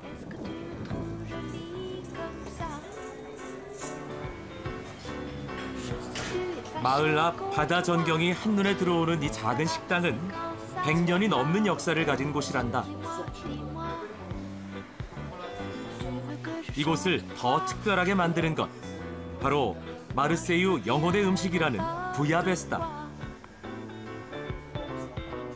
아버지에게 부야베스를 배웠다는 식당 주인 레브르는 부야베스에 대한 자부심이 대단해 보인다. On faisait bouillir le poisson dans la soupe et une fois qu'on était cuit, il le dégustait entre amis sur une table avec toute la modestie d'une table sur une île et il savourait une bouillabaisse entre amis. Et le bouillabaisse, ça se mange entre amis ou en famille. C'est un plat populaire, il faut le manger tel quel. Je vais juste le briefer, après vous finirez si vous voulez, mais comme vous voulez. 과거 어부들이 팔고 남은 생선을 해결하기 위해 만들었던 요리 부야베스엔 많은 종류의 생선이 들어간다고 한다. Ça, c'est tout ce qu'il faut pour faire la soupe de poisson. La soupe de poisson, on la fait avec un peu de légumes, du safran, de l'ail, de l'oignon. On met de l'eau. On laisse cuire une heure, voire deux heures pour que le poisson soit mousse bien.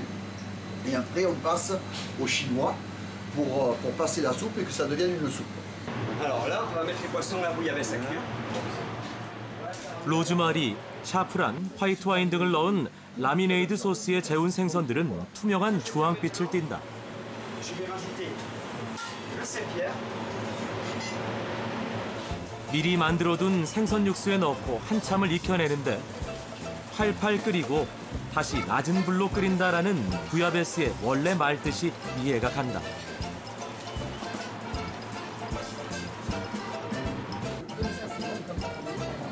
레브르가 익힌 생선을 들고 와 손수 손질까지 해준다.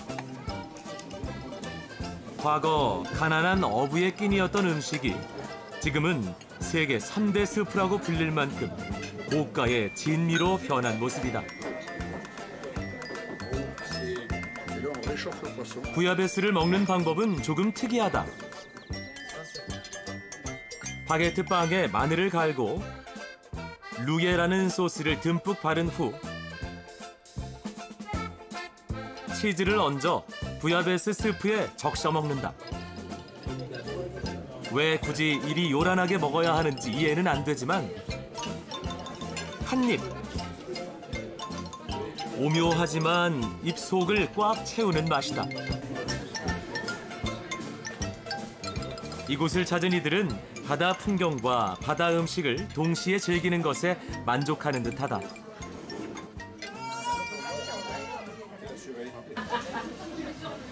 Je, je sais pas, un peu tout, c'est euh, aussi bien euh, ce- ce- cette espèce de ragoût de poisson euh, que euh, tous les goûts euh, qui peuvent enchanter un peu. Donc euh, non, non, c'était, euh, c'est un peu tout, c'est toute une expérience en fait la bouillabaisse. La bouillabaisse, ben, c'est disons l'assortiment, la préparation, mais alors aussi euh, les différents poissons et la découverte de ces poissons. Parce que nous sommes de la mer du Nord. En Belgique, on a la mer du Nord. C'est plutôt les cabillots.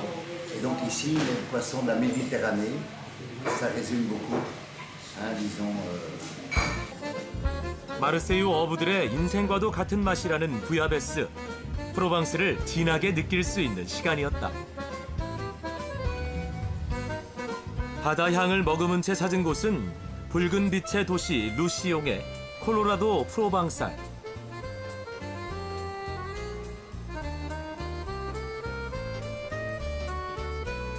과거 황토를 채취하던 곳이란다. 수풀로 덮인 오르막길을 한참 올라서니 세상이 온통 붉은 빛이다.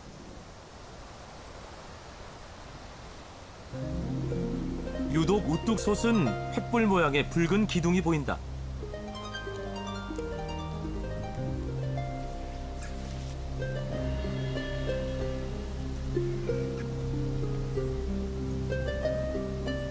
voici à la cheminée de fée. La cheminée de fée, c'est d'abord lors de l'extraction de l'ocre des ouvriers qui ont laissé de côté une partie beaucoup plus dure du sable ocre. Ce qui fait que nous avons ici spécialement une, une aiguille d'ocre, beaucoup plus dure. À l'intérieur, il y a du fer. 이 아찔하고 기이한 조각들이 과거 황토 채석장이 오랜 시간 방치돼 자연적으로 만들어진 것이라 하니 실로 놀라울 따름이다.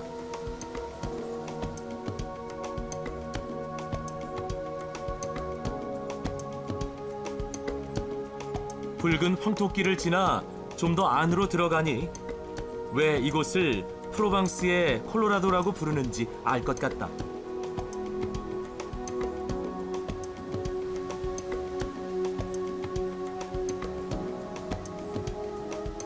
깎아지른 절벽과 언덕을 따라 보이는 선명한 노랑에서 짙은 빨강에 이르기까지 다양한 색조의 대비가 한눈에 들어온다. 직접 만져보니 붉은 황토가 물에 풀면 바로 물감이 될 정도로 부드럽다. Et cette altération a fait varier la coloration de l'argile. En réalité, le fer qui était contenu dedans s'est altéré avec notamment l'apport en oxygène de l'eau qui s'est infiltrée dans les sous-sols, mais aussi parce qu'à l'époque, il y a eu des époques successives, mais à l'époque 수백 년 동안 안료를 위해 황토를 채취했던 콜로라도 프로방쌀.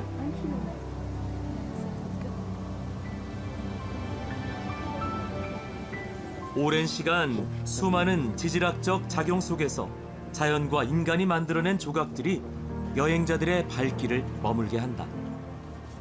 C'est nature, c'est comme on disait, c'est surprenant de trouver ça en pleine nature en Provence, quoi. Enfin, si on est en Provence ici. Voilà, donc c'est surprenant de trouver ça en Provence. C'est joli. C'est c'est pareil, moi je ne connaissais pas du tout, je ne savais même pas qu'il avait ça ici. Donc euh, c'est très beau à voir parce que ça reste dans la nature, c'est pas. Même si c'est des humains qui ont creusé au début, mais. Ça reste beau. naturel, ouais. Mm. L'aspect est naturel. Dans cet endroit, Ouais. c'est la première fois que l'on vient. On connaissait un petit peu par euh, la télévision et, c'est très beau. très très beau. On est en pleine nature. Mm. Oui, on est content de voir les différentes euh, couleurs euh, suivant le niveau des couches de- du sol et tout. euh. Mhm. Donc on voit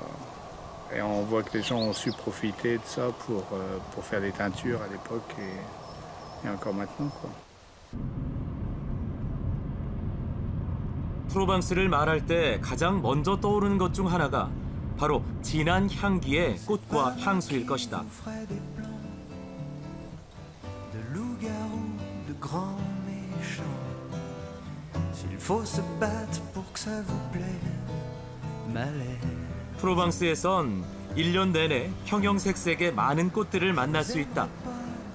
여름엔 보랏빛의 라벤더가 대표적이다. 6월에서 9월에 걸쳐 꽃망울을 피우는 라벤더.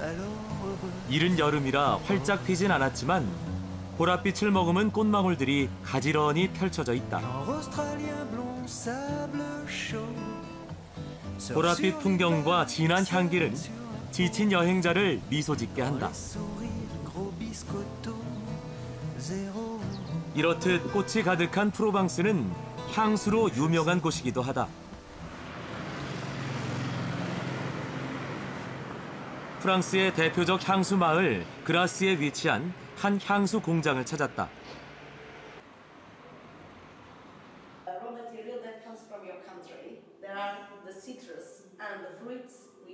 이곳은 1849년부터 5대에 걸쳐 향수를 만들어 오고 있다.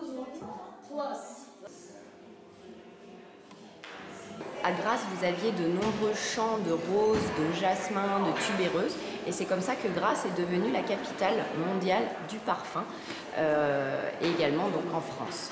Vous avez bien sûr différentes parfumeries, mais Molinard est un des seuls à avoir le label EPV, qui est Entreprise du patrimoine vivant, qui représente vraiment l'ancestralité à la française, fabrication française, puisque tout est fait à Grasse.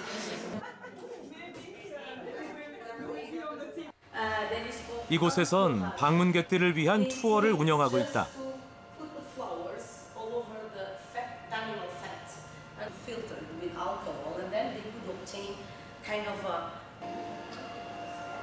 향수가 만들어지는 모든 과정부터 향수에 사용되는 재료, 이곳에서 제조되는 다양한 향수 제품 등을 직접 체험해 볼 수 있다고 한다.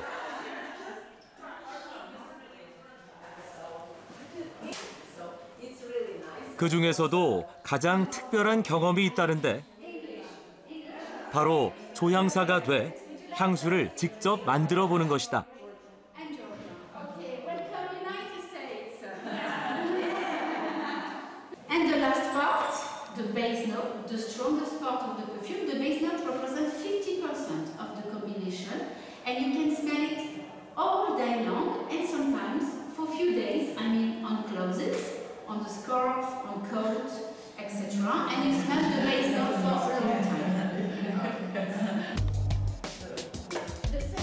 100개가 넘는 향수 원료 중 원하는 향기를 골라 세계에서 딱 하나만 존재하는 자신만의 향수를 만들어 보는 정말 특별한 경험이다. 제조법은 회사에서 계속 보관하고 그 향수를 주문할 경우 제조해서 배송해 준다고 한다. 특별한 경험에 마치 전문 조향사가 된 듯 자신만의 향수를 위해 집중하는 모습이 사뭇 진지해 보인다.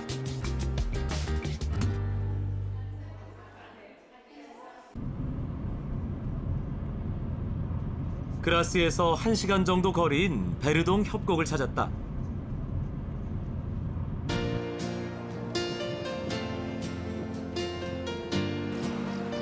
베르동 강을 두고 1500m까지 솟은 석회암 협곡은 규모가 유럽 최대로 유럽의 그랜드 캐니언이라고도 불리는 곳이다.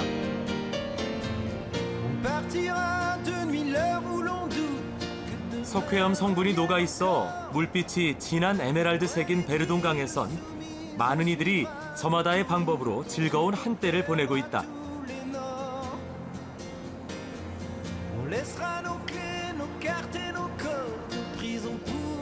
베르동 협곡을 진하게 품을 수 있는 방법은 따로 있다고 한다. 바로 패러글라이딩이다.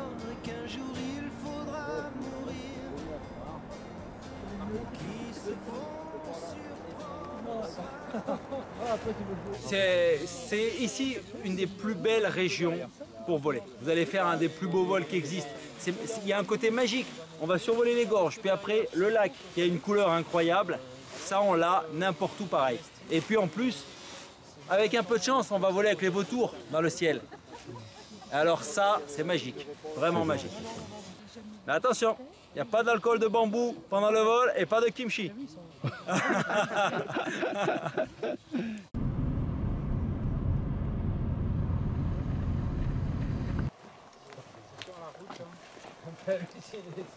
차를 타고 협곡 위로 한참을 올라간 뒤 20여 분 더 숲길을 걸어 들어가서야 패러글라이딩 출발 포인트에 도착했다.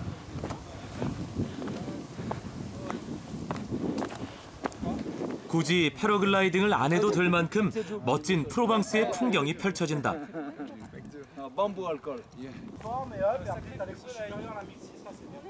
하지만 난 이미 장애 주의 사항을 심각하게 듣고 있다. From air. Always run.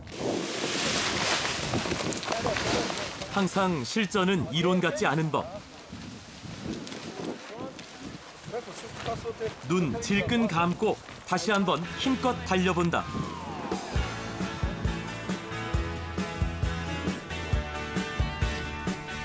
멋지진 않았지만 날아올랐다.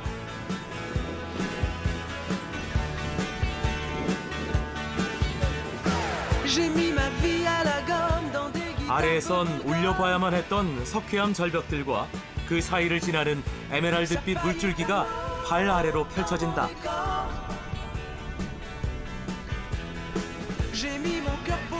장은 프로방스 풍경이 어떠냐고 내게 계속 묻는다.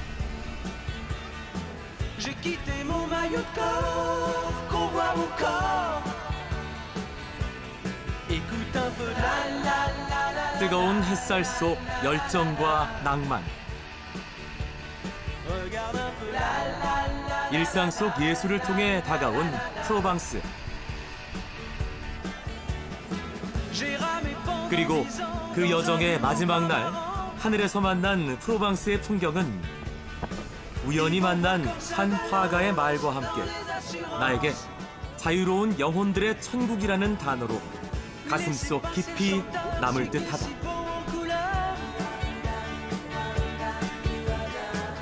Envoyez la lumière et laissez-moi. Je regardais les yeux sur ces tableaux, j'avançais, je m'amusais à ce que les yeux me suivent partout. Et quand plus tard j'étais à l'école des beaux-arts, je me suis dit mais finalement, j'ai pas vu ce qu'il y a derrière ces visages. Quand j'ai vu les yeux de la Joconde, j'ai pas vu que derrière il y avait une rivière. Parce que les visages m'ont arrêté et que je suis pas rentré dans le tableau. Non, ce n'était pas le radeau de la méduse, ce bateau, qu'on se le dise au fond des ports, dise au fond des ports. Il naviguait en père peinard sur la grand-mare des canards et s'appelait les copains d'abord, les copains d'abord. Ces fluctuanec mergiture, c'était pas de la littérature, n'en déplaise. 지중해의 따사로운 햇살과 알프스의 눈부신 풍경을 마주하고 내딛는 걸음걸음마다 서로 다른 빛깔의 일상이 눈앞에 펼쳐진다. 자유와 열정을 품은 이들과 함께 어울려 가장 특별하게 봄을 맞이할 수 있는 곳.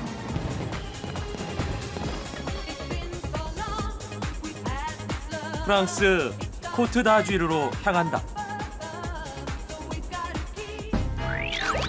인천공항에서 출발, 파리를 경유해 15시간 정도 비행기와 함께한 후 코트 다쥐르 여정의 출발지인 니스에 도착할 수 있었다. 니스의 랜드마크인 마세나 광장이다. 사람들로 붐벼야 할 곳에 거대한 철제 구조물이 자리하고 있다.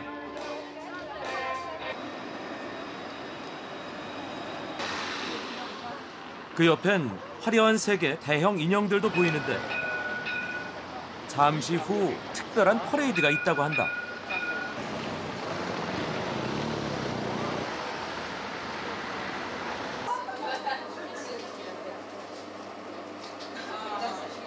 광장 한쪽에 있는 대기실을 찾았다. 퍼레이드에 참가하는 연기자들의 분장과 의상 준비가 한창이다. 이번 퍼레이드의 주제는 영화. 연기자들의 완벽한 변신을 위해 영화 속 특별한 의상들이 제작됐다고 한다.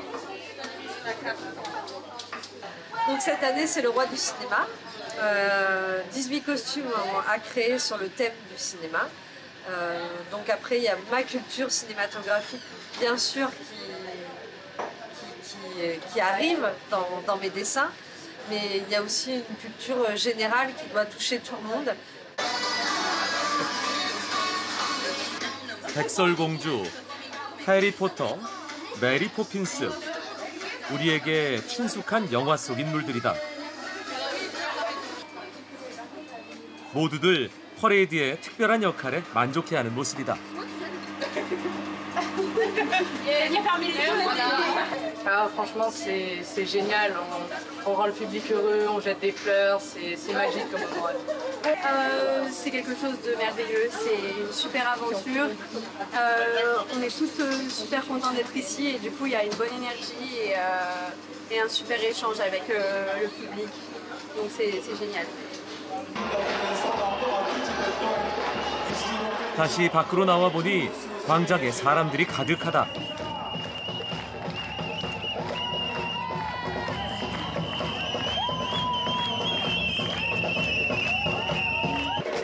퍼레이드에 앞서 댄서들이 한껏 분위기를 띄우고 있다.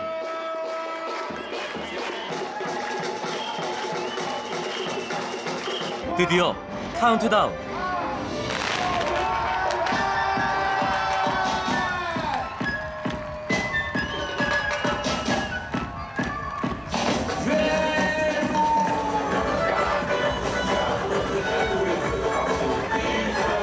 제일 먼저 꽃의 여왕이 탄 마차가 들어서고 그 뒤로 영화 속 주인공들과 함께 화려한 꽃과 소품으로 장식된 대형 마차들의 행렬이 이어진다.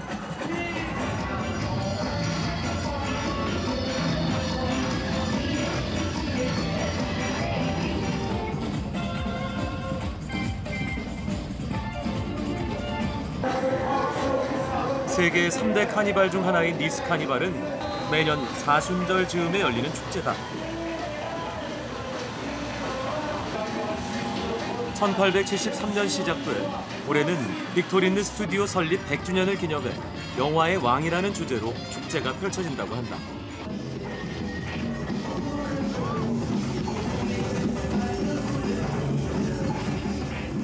하늘을 덮은 꽃가루 사이로 꽃마차, 하늘을 걷는 병정, 대형 인형과 풍선들을 비롯해 웅장하고 독창적인 행렬이 끊임없이 이어진다.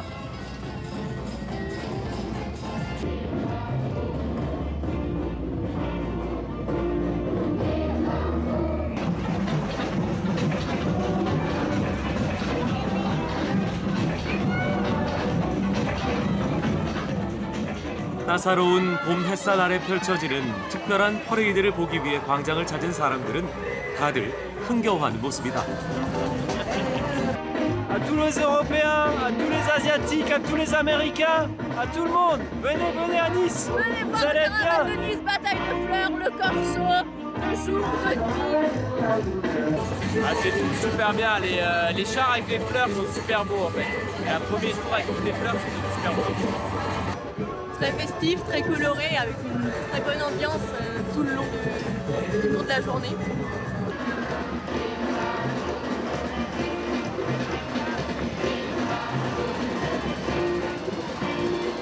그 옛날 마차에서 부케를 주고받던 풍습에서 유래한 이 퍼레이드는 꽃들의 전쟁이라 불린다.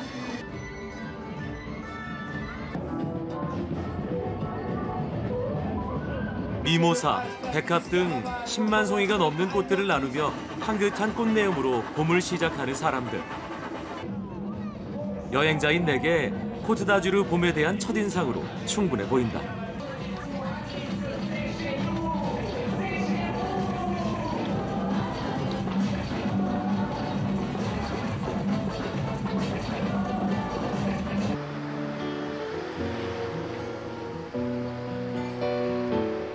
니스는 프랑스 남동부 지중해에 접한 해안 도시로 연중 따스한 햇살을 만날 수 있는 최고의 휴양 도시다.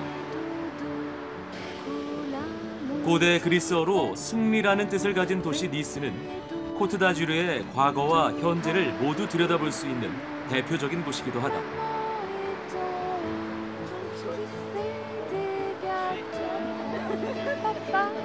니스에서 가장 유명한 곳 중 하나는 해변을 따라 이어진 산책로.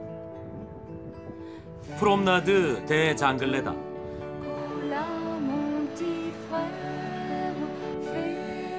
18세기 후반 추위를 피해 이곳으로 온 영국인들이 만든 길이어서 그렇게 이름 지어졌다고 한다.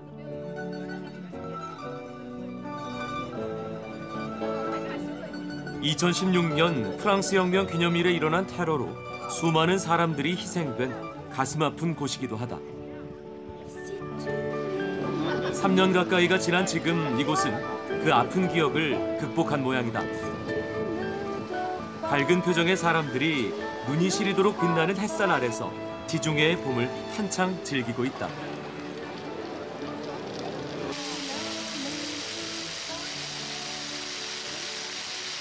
(18세기) 옛 모습을 간직한 구시가지로 들어서니 천막들이 길게 늘어선 시장이 보인다.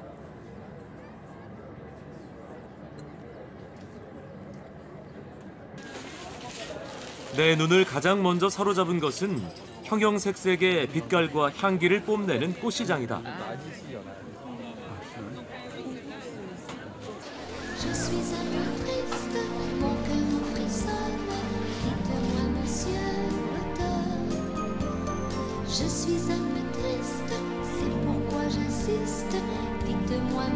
매일 오전 8시에 문을 여는 이 꽃시장은 코트다주르에서 나는 제철 꽃들을 가장 빨리, 가장 저렴하게 만날 수 있는 곳이란다. En ce moment, ce qui fleurit, c'est le mimosa. Le mimosa, les cyclamènes, et les azalées en plante. Et en fleurs coupées, vous avez le mimosa et l'œillet surtout. Après, les giroflées, d'autres fleurs comme ça qui arrivent. Mais le principal, c'est mimosa et, et œillet de lys.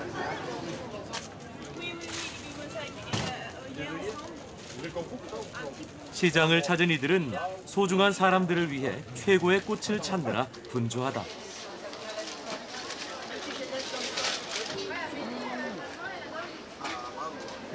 Bah, pour la fête des grands-mères aujourd'hui, spécialement, et comme c'est des fleurs du pays et moins cher qu'en magasin. bah, Et pourquoi vous recommandez Pourquoi parce que vous recommandez bah, parce que c'est les plus belles fleurs et en plus c'est directement bah, les producteurs qui viennent les vendre, quoi. C'est pas comme au magasin où c'est gardé. 이곳에선 꽃이 삶의 일부인 듯하다. 시장 한쪽에서 특별한 음식을 만났다. 리스 전통 음식인 소카다. 커다란 한 판이 순간 동인할 정도로 잘 팔린다.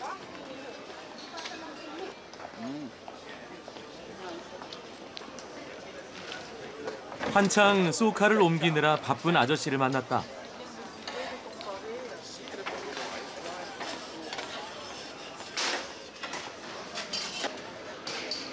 소카는 한 봉지에 3유로, 우리 돈으로 4천 원이면 맛볼 수 있다.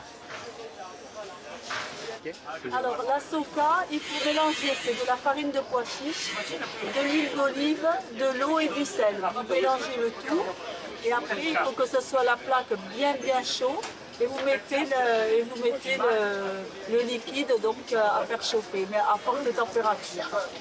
Vous me suivez Bon. 자전거에 올라탄 아저씨가 가게로 따라오라고 손짓한다. 급한 맘에 고민 없이 따라 나섰다.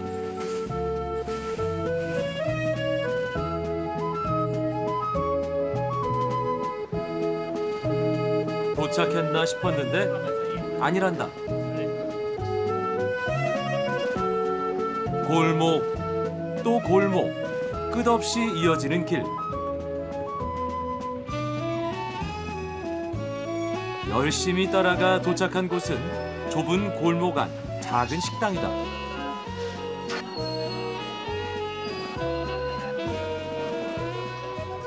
알고 보니 100년 가까이 된 소카 식당이란다.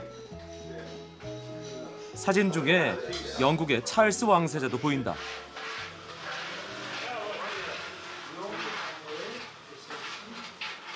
La fondatrice de Teresa, c'est cette dame qui s'appelle Teresa, en 1925. C'est elle qui a créé chez Teresa. Elle s'appelait Teresa. Et ça existe donc depuis 1925. Une cinquième génération. 노란 병아리콩 반죽을 화덕에 넣어 구우면 소카 완성.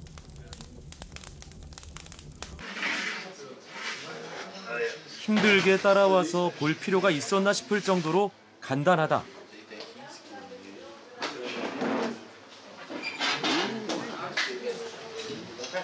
아저씨는 갓 구운 소카를 싣고 다시 시장으로 향하는데 또 따라 나설 엄두는 나지 않는다. 가게 안 손님들이 소카를 즐기는 중이다. On est venu esprit. Ils sont mangés là, son collègue. Je pense Le mot c'est tombé, qui est très apprécié ici. Soka Pelmaïnas. 갑작스러운 골목 마라톤으로 허기진 배를 소카로 달래본다. 고소한 게 맛있다. 고기와 채소를 뺀 우리 빈대떡이다. 고소함으로 배를 채우고 외곽으로 향했다.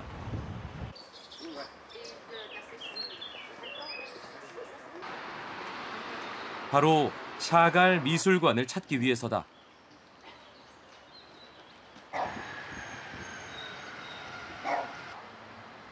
안으로 들어서니 진한 커피 한 잔을 부르는 한가로운 분위기의 정원과 카페가 먼저 눈에 들어온다.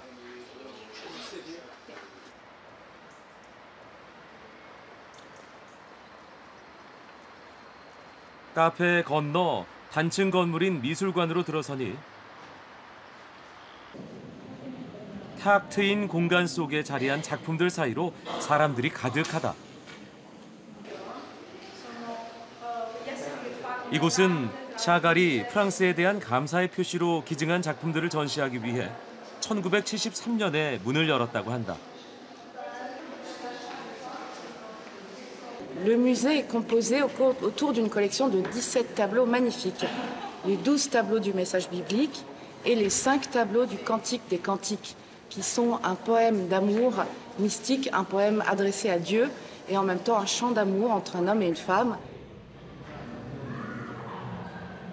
12개의 벽으로 이루어진 전시실에 들어서면 12개의 성서 연작을 만날 수 있다.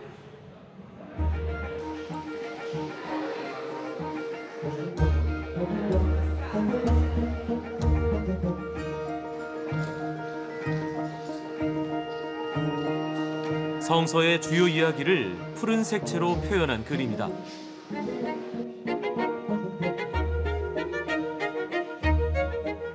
이번엔 붉은 빛과 분홍빛의 그림이다. 샤갈이 사랑했던 여인 바바에게 바친 작품이란다. 이 작품엔 특별한 것이 있다고 한다. Bien, ça résume un petit peu toute sa vie. Parce ici, par exemple, on a euh, deux villes en fait, qui se reflètent, sachant que l'une d'elles est en fait Saint-Paul-de-Vence, c'est-à-dire la ville où il a habité donc, euh, ces 30 dernières années ici en France. Quand vous regardez la ville qui est tête en bas, à la renverse, en fait, c'est son ancienne ville, sa ville d'enfance, Vitebsk, en Biélorussie, la ville où il est né en 1887. Donc c'est comme si euh, ces histoires, ces différentes villes se retrouvaient comme une sorte de synthèse dans le tableau et qui résumait en fait tout ce parcours de vie très dense.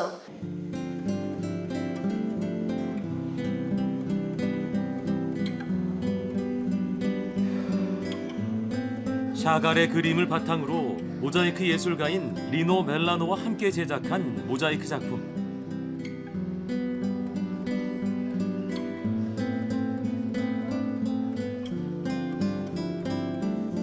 빛의 환상이라며 즐겨 작업했던 스테인드 글라스까지 분야를 넘나드는 많은 작품들을 만날 수 있다.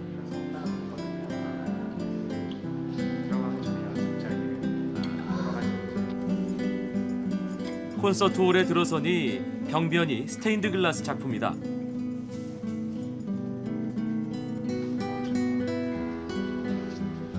빛을 품은 스테인드 글라스의 색채를 마주하자 빛 자체가 최고의 재료이기에 바로 여기에 창조가 있다라는 샤갈의 말이 생각난다.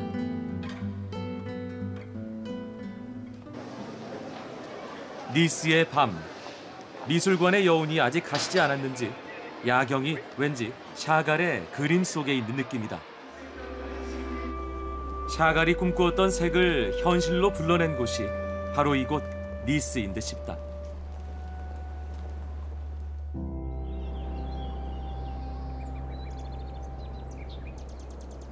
이른 아침 구름 낀 해안선을 따라 동쪽으로 30분 차를 달려 도착한 곳은 에즈다.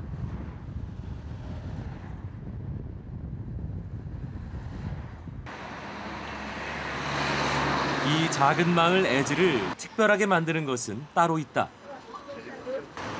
바로 해발 460m 산 위에 자리한 그래서 독수리의 요새라고도 불리는 에즈 빌리지다.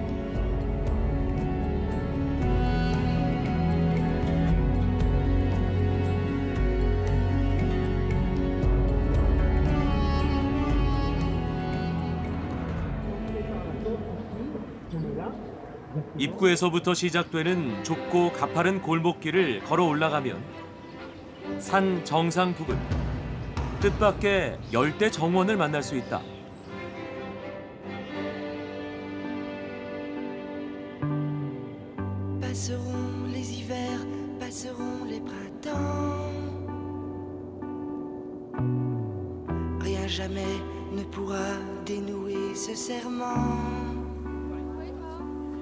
지중해 해안가 소박하고 작은 마을에서 만나는 열대 정원. 푸른 바다를 내려다보는 회색빛의 절벽을 따라 보란 듯 피어 있는 수백여 종의 열대 식물은 또 다른 느낌으로 다가온다. C'est une plante qui vient du Mexique, c'est l'agave. Et on le reconnaît parce qu'il a un cœur fermé, voyez Et l'agave va fleurir une seule fois, va faire une grande fleur de 4-5 mètres de haut, et après, il meurt. hein. Et les, précolombiens faisaient beaucoup de choses avec l'agave. Euh, ils faisaient euh, des, euh, des tuiles pour leurs cabanes. C'est très fibreux. Aujourd'hui, on fait des cordelettes, mais avec l'agave aussi, avec le jus d'agave, on fait la tequila aujourd'hui, avec l'agave tequilana. Hein.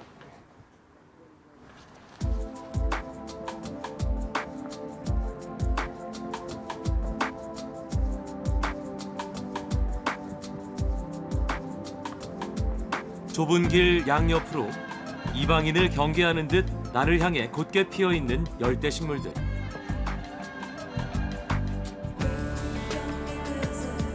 그걸 지나 계속 위로 올라가 보면 에즈 빌리지가 주는 최고의 선물을 마주한다.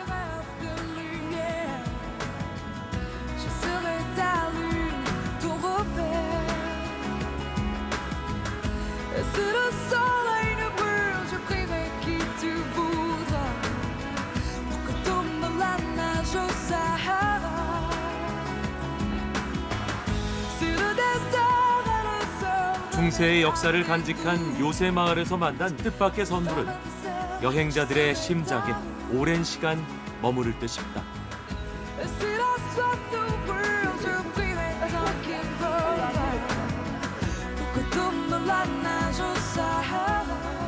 좀 더 동쪽으로 차를 달려본다. 갈수록 황토빛 노란색의 풍경이 점점 더해지는 느낌이다.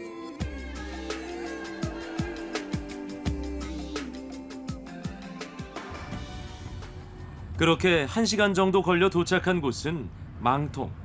이미 어둠이 내려앉았다.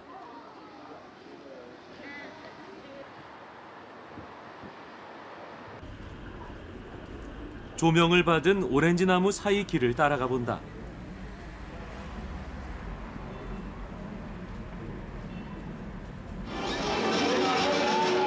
퍼레이드다.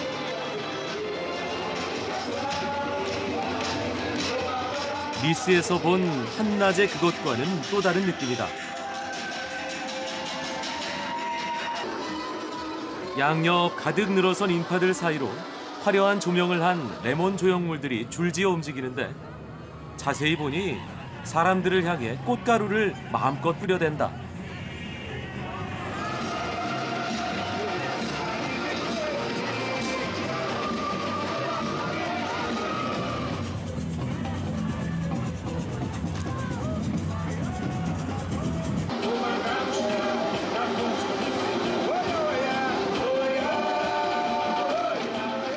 지중해의 밤을 물들이는 화려한 조명 속 흩날리는 꽃가루와 끊임없이 이어지는 대형 인형들 사이에서 사람들은 이 환상적인 퍼레이드의 주인공이 된 듯 다들 즐거워 보인다.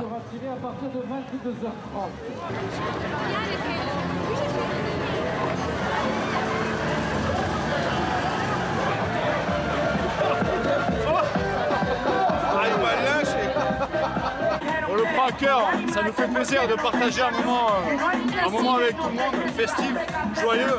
Ça représente l'ambiance et la ville de Menton.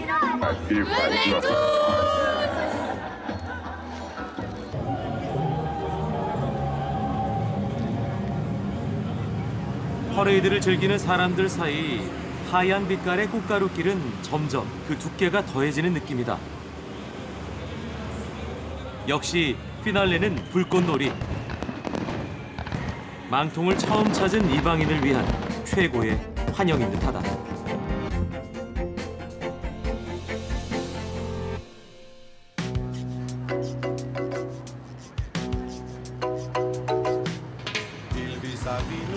니스에서 동쪽으로 25km. 이탈리아 국경과 바로 접해 있는 휴양 도시 망통이다.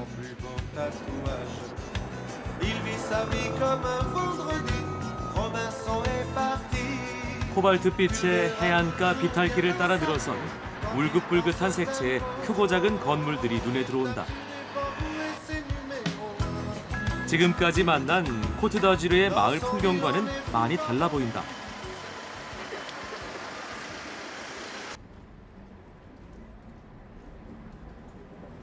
망통은 프랑스의 유일한 레몬 산지로도 유명하다.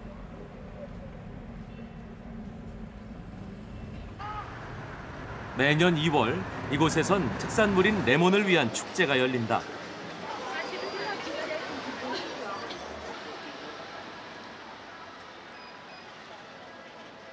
축제의 대표 장소인 비오베 레몬 정원을 찾았다.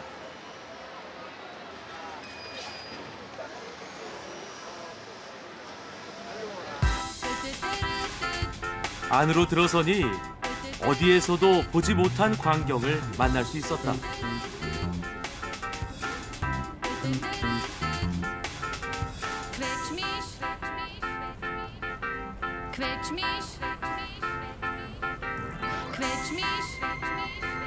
세상의 모든 색이 파랑과 노랑인 듯 새파란 하늘을 배경으로 레몬과 오렌지 옷을 입은 샛노란 대형 조형물들이 나를 향해 금방이라도 달려들 것 같다.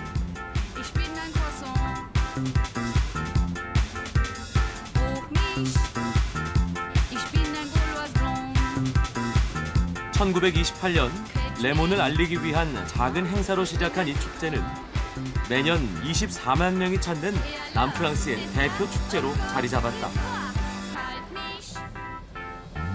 모두들 이곳에서 만난 신비한 세계를 조금이라도 더 담느라 분주하다.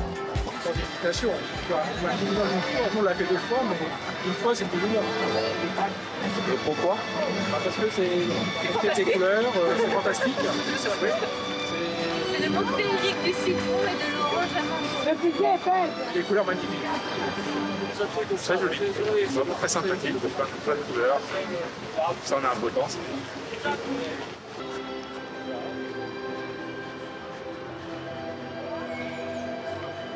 이 황금빛 세상을 만들기 위해 140톤의 레몬과 오렌지, 철 15톤을 들여 400여 명의 사람들이 6개월간 작업을 한다고 하니 다시 한번 축제의 규모와 축제를 위한 망통 사람들의 열정에 놀라게 된다.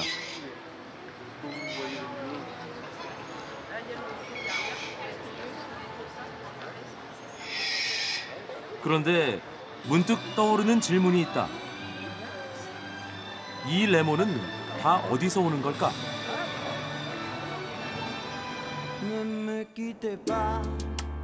그 답을 찾기 위해 해안가 근처 레몬 농장을 찾았다.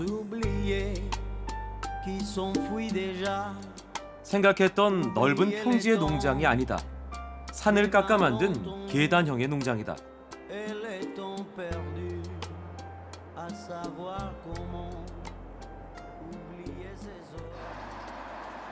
유럽의 지리적 표시 보호를 받는 레몬 품종 8종 중 하나인 망통 레몬은 황금 과일이라 불릴 정도의 노란 빛깔 그리고 강한 풍미와 달콤한 과육이 특징이다. 이는 지중해에 자리한 지리적 환경 때문이라고 한다.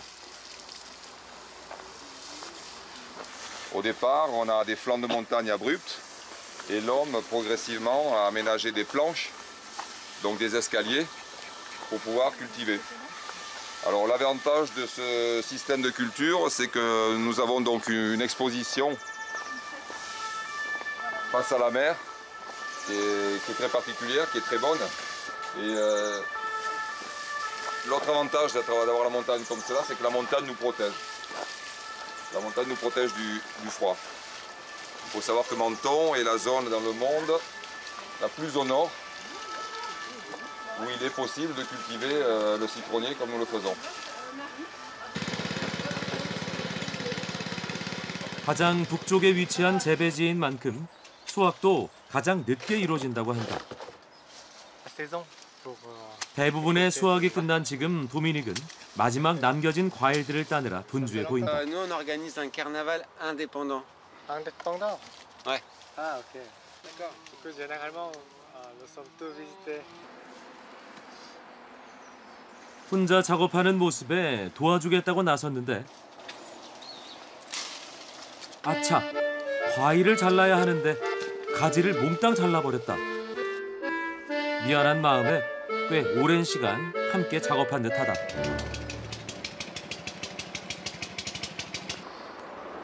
그래도 일을 마친 도미닉을 보니 먼 타국 땅에서 좋은 일을 한 것 같아 조금은 뿌듯해진다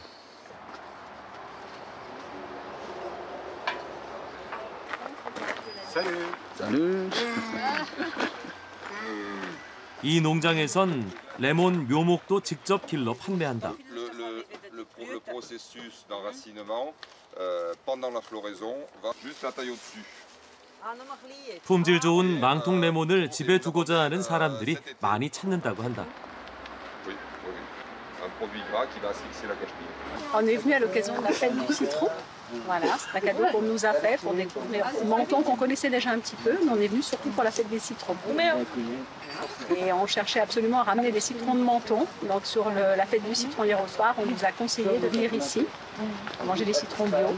Voilà, c'est comme ça qu'on est venu. 서쪽으로 길을 달려 도착한 곳은 생폴드방스.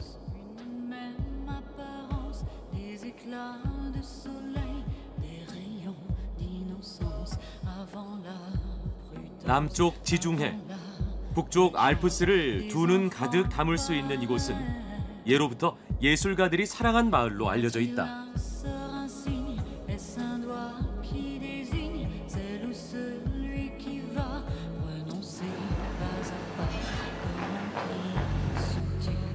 입구에 들어서자 시간이 멈춘 듯 중세 역사를 고이 간직한 회색빛의 미로 같은 골목길이 나타난다.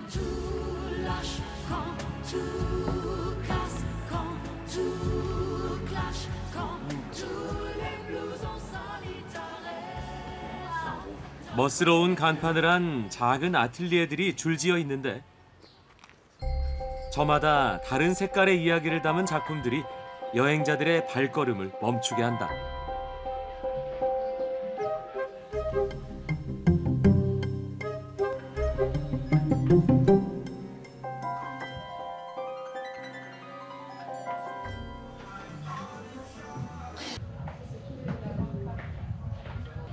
한 아틀리에에 들어섰다.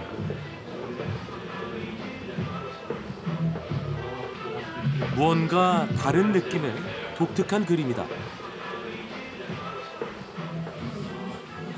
코트 다주르만의 풍요로움, 유쾌함, 그리고 여유가 한껏 느껴지는 작품들이 내 눈을 사로잡는다.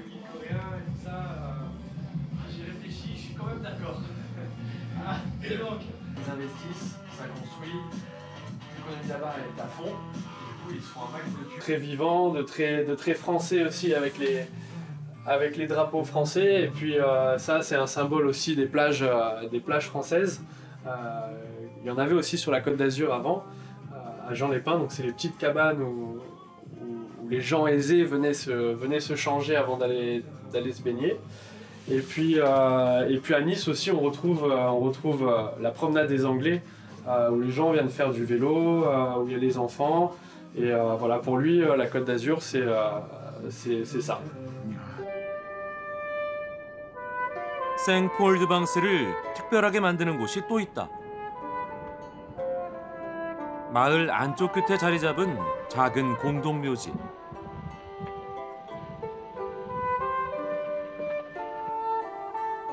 안으로 들어서자 고인에 대한 사랑을 담은 꽃과 장식이 놓여 있는 무덤들이 보인다.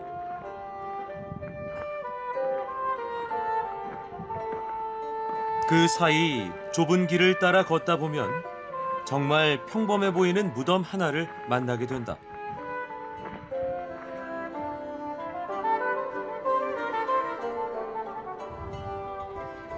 바로 이곳 생폴드 방스를 사랑한 화가 마르크 샤갈의 무덤이다. Donc voilà, Marc Chagall, une vie bien remplie, né en 1887 en Biélorussie. Marc Chagall a passé les 20 dernières années de sa vie ici à Saint-Paul-de-Vence. Il avait sa maison euh, un petit peu plus loin dans le village, vers la Fondation Mag. Et donc il a peint eh bien, jusqu'au dernier jour de sa vie. Il est décédé d'ailleurs dans son atelier à l'âge de 97 ans. 자신의 그림에 이곳 풍경을 그려넣을 만큼 생폴드방스를 사랑했었고 지금은 이곳의 일부가 돼버린 화가 샤갈. 그를 향한 여행자들의 존경과 사랑이 가득하다.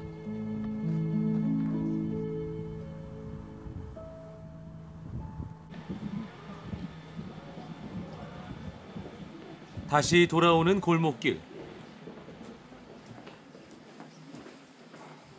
한 할머니가 말을 Ben 거는데 voilà, il fait 뭔가 bon vivre à 자랑하고 싶은 모양이다. Saint-Paul-de-Vence, C'est pour ça que tout le monde vient visiter Saint-Paul.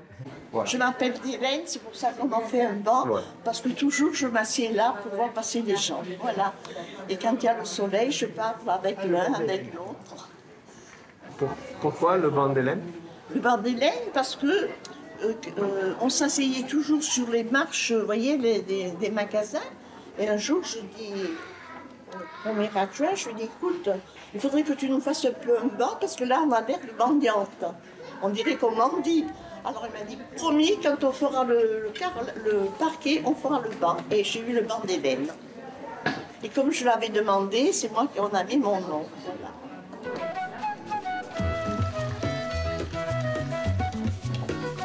잠깐의 여유를 찾기 위해 들어간 식당. 테라스로 나가 보니 아틀리에에서 그림으로 만났던 풍경이 실제로 펼쳐진다.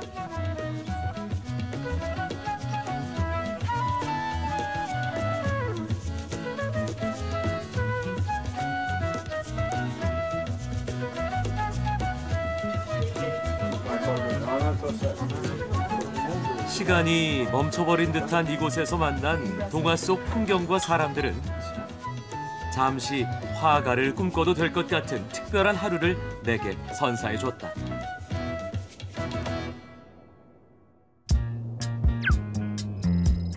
다음 날 지중해 쪽으로 1시간 정도 차를 달려 앙티브를 찾았다.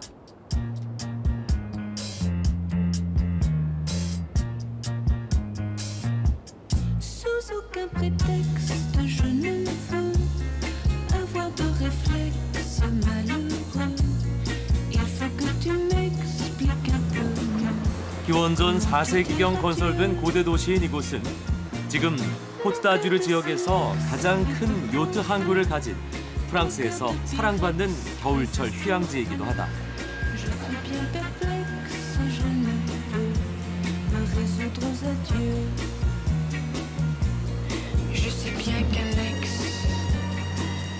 니스와 망통에서 본 자갈 해변이 아닌 황금빛 모래사장엔 뜨거운 햇살 속 봄을 즐기려는 사람들로 가득하다.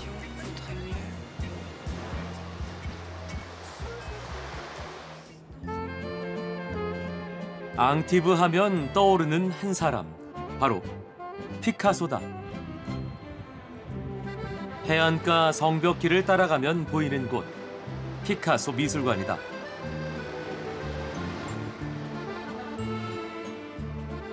고대 그리스 시대 세워진 요새였던 그리말디 성. 1946년 피카소가 이곳에서 작업하게 되면서 지금의 미술관으로 자리하게 됐다고 한다.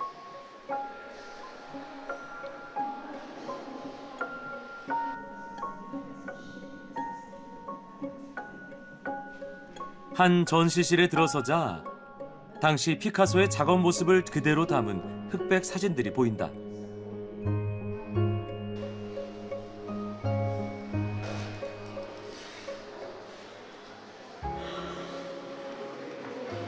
Et euh, euh, on voit sur toutes ces photos en noir et blanc eh bien, que Picasso travaille dans des conditions spartiates. hein. Il travaille, il a presque rien. On lui installe un matelas par terre. On lui amène des studios de la Victorine. Ce sont les studios à l'époque euh, qui existent toujours d'ailleurs de cinéma. Des grosses lampes, des gros réflecteurs pour qu'il puisse peindre la nuit.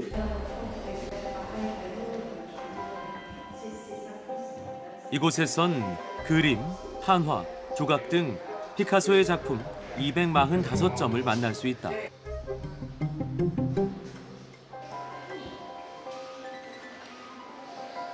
지중해 풍경을 품은 고대 도시 앙티브에 반한 피카소는 이곳의 하늘과 바다를 그림에 그대로 담고자 했단다. Et euh, si je dis que c'est un- une collection particulière et unique, c'est parce qu'elle est directement inspirée de la Méditerranée. Elle est naturaliste. On retrouvera des pêcheurs attablés, des scènes de d'oursinades, des scènes de poissons, euh, des faunes, des centaures, des satyres, parce que euh, Picasso, lorsqu'il va arriver ici, va refaire un lien avec la mythologie gréco-romaine. N'oublions pas qu'Antibes 이후 피카소는 이 작품들이 앙티브에 그대로 남아주기를 원해 이곳에 기증했다고 한다. 그렇게 앙티브 피카소 미술관만의 특별한 컬렉션이 만들어지게 된 것이다.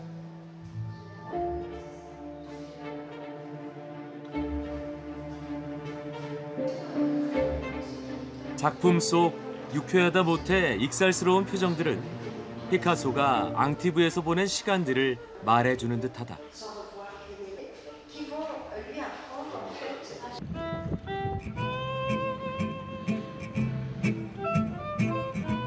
미술관을 나와 붉은 황토빛 골목 위 파란 하늘길을 따라 특별한 곳을 찾았다.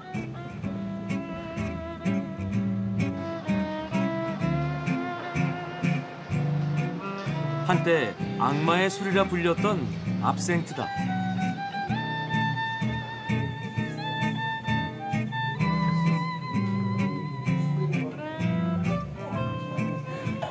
지하로 내려가니 돌로 만들어진 아치형의 천장과 벽이 눈에 들어온다.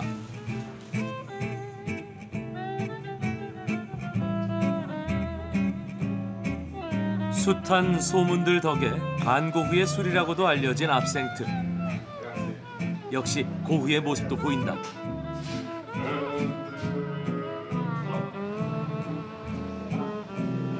19세기 고갱, 랭보 같은 가난하지만 열정 가득한 예술가들의 벗이었다는 술 압생트. 어쩌면 세기의 명작들을 탄생시킨 술일 수도 있다는 생각이 든다. C'est la chlorophylle de la plante qui teinte. C'est c'est le, le seul bar euh, à absinthe de France, vraiment spécialisé dans l'absinthe. C'est-à-dire que nulle part ailleurs, vous allez retrouver une carte avec tout ce qui se fait au niveau absinthe française ou suisse, et également une magnifique collection de fontaines à absinthe. Toutes ces fontaines euh, datent de, entre 1860 et 1915, et c'est euh, un- une chose quasiment unique. Des fois, dans les films ou dans les séries, tu entends pring. Et il y a toujours du 이 특별한 용기들은 독주인 압생트를 즐기기 위한 것이라고 한다.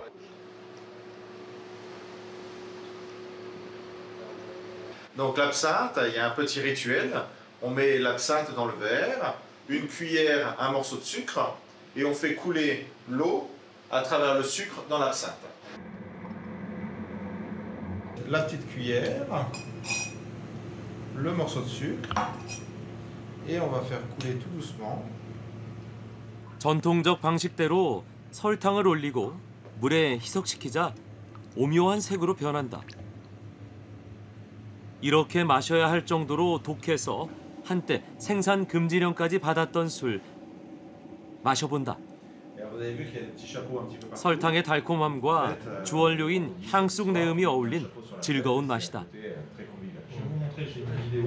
plusieurs minuscules robinets. Et bien sûr, il vous faut de l'absinthe. Là voilà, c'est un liquide vert, d'où son surnom. 아름다운 독, 초록 요정으로 불릴 만큼 독하고 중독성이 강한 술이라며 프레데릭이 영상 하나를 보여준다. 이곳의 저녁 풍경이란다. 사람들이 잔뜩 취한 듯 노래를 부르며 춤까지 추는데 믿거나 말거나 압생트 딱 한 잔을 마신 모습들이란다. 메뉴판 아래 적혀 있는 글귀 하나가 눈에 들어온다. 장난인가 싶기도 하지만 압생트 대단해 보인다.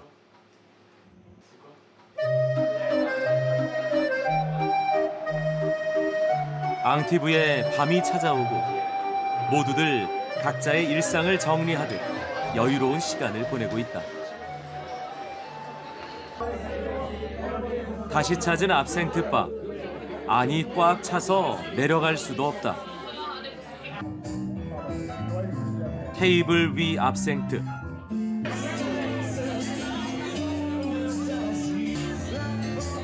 그리고 흥겨운 피아노 반주가 조명을 머금은 회색 벽의 공간을 가득 채우고 있다.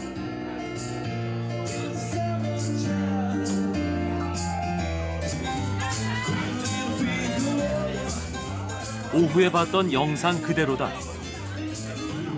모두들 압생트, 음악, 그리고 흥 많은 사람들이 함께하는 이 흔치 않은 경험에 흠뻑 취해버린 듯하다.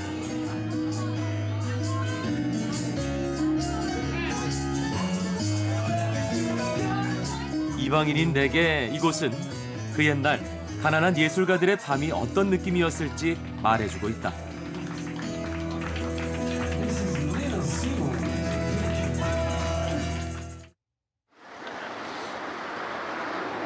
여행의 마지막 밤 여정을 시작했던 니스를 다시 찾았다.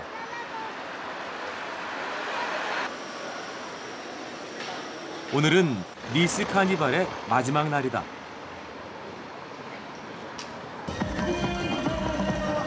마세나 광장에선 밤 퍼레이드 빛의 카니발이 한창이다. 15만 개가 넘는 조명이 만들어내는 빛의 향연 속, 음악에 맞춰 몸을 흔들어대는 사람들로 인해 마치 광장이 춤을 추는 듯하다.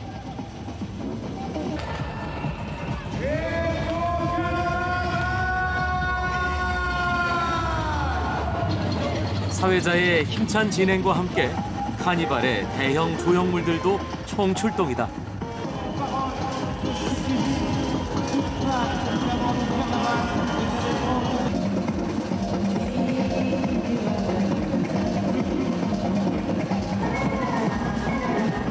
이곳에서 우연히 만난 한 사람.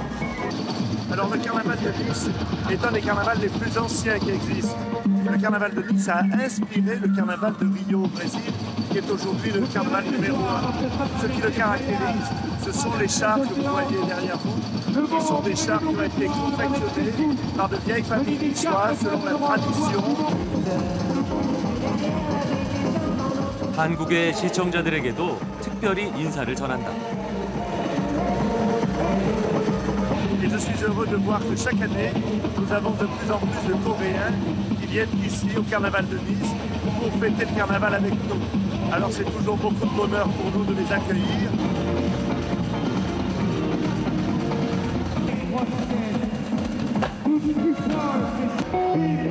프랑스 코트다쥐르를 찾아 봄의 길목에서 마주한 아름다운 일상들.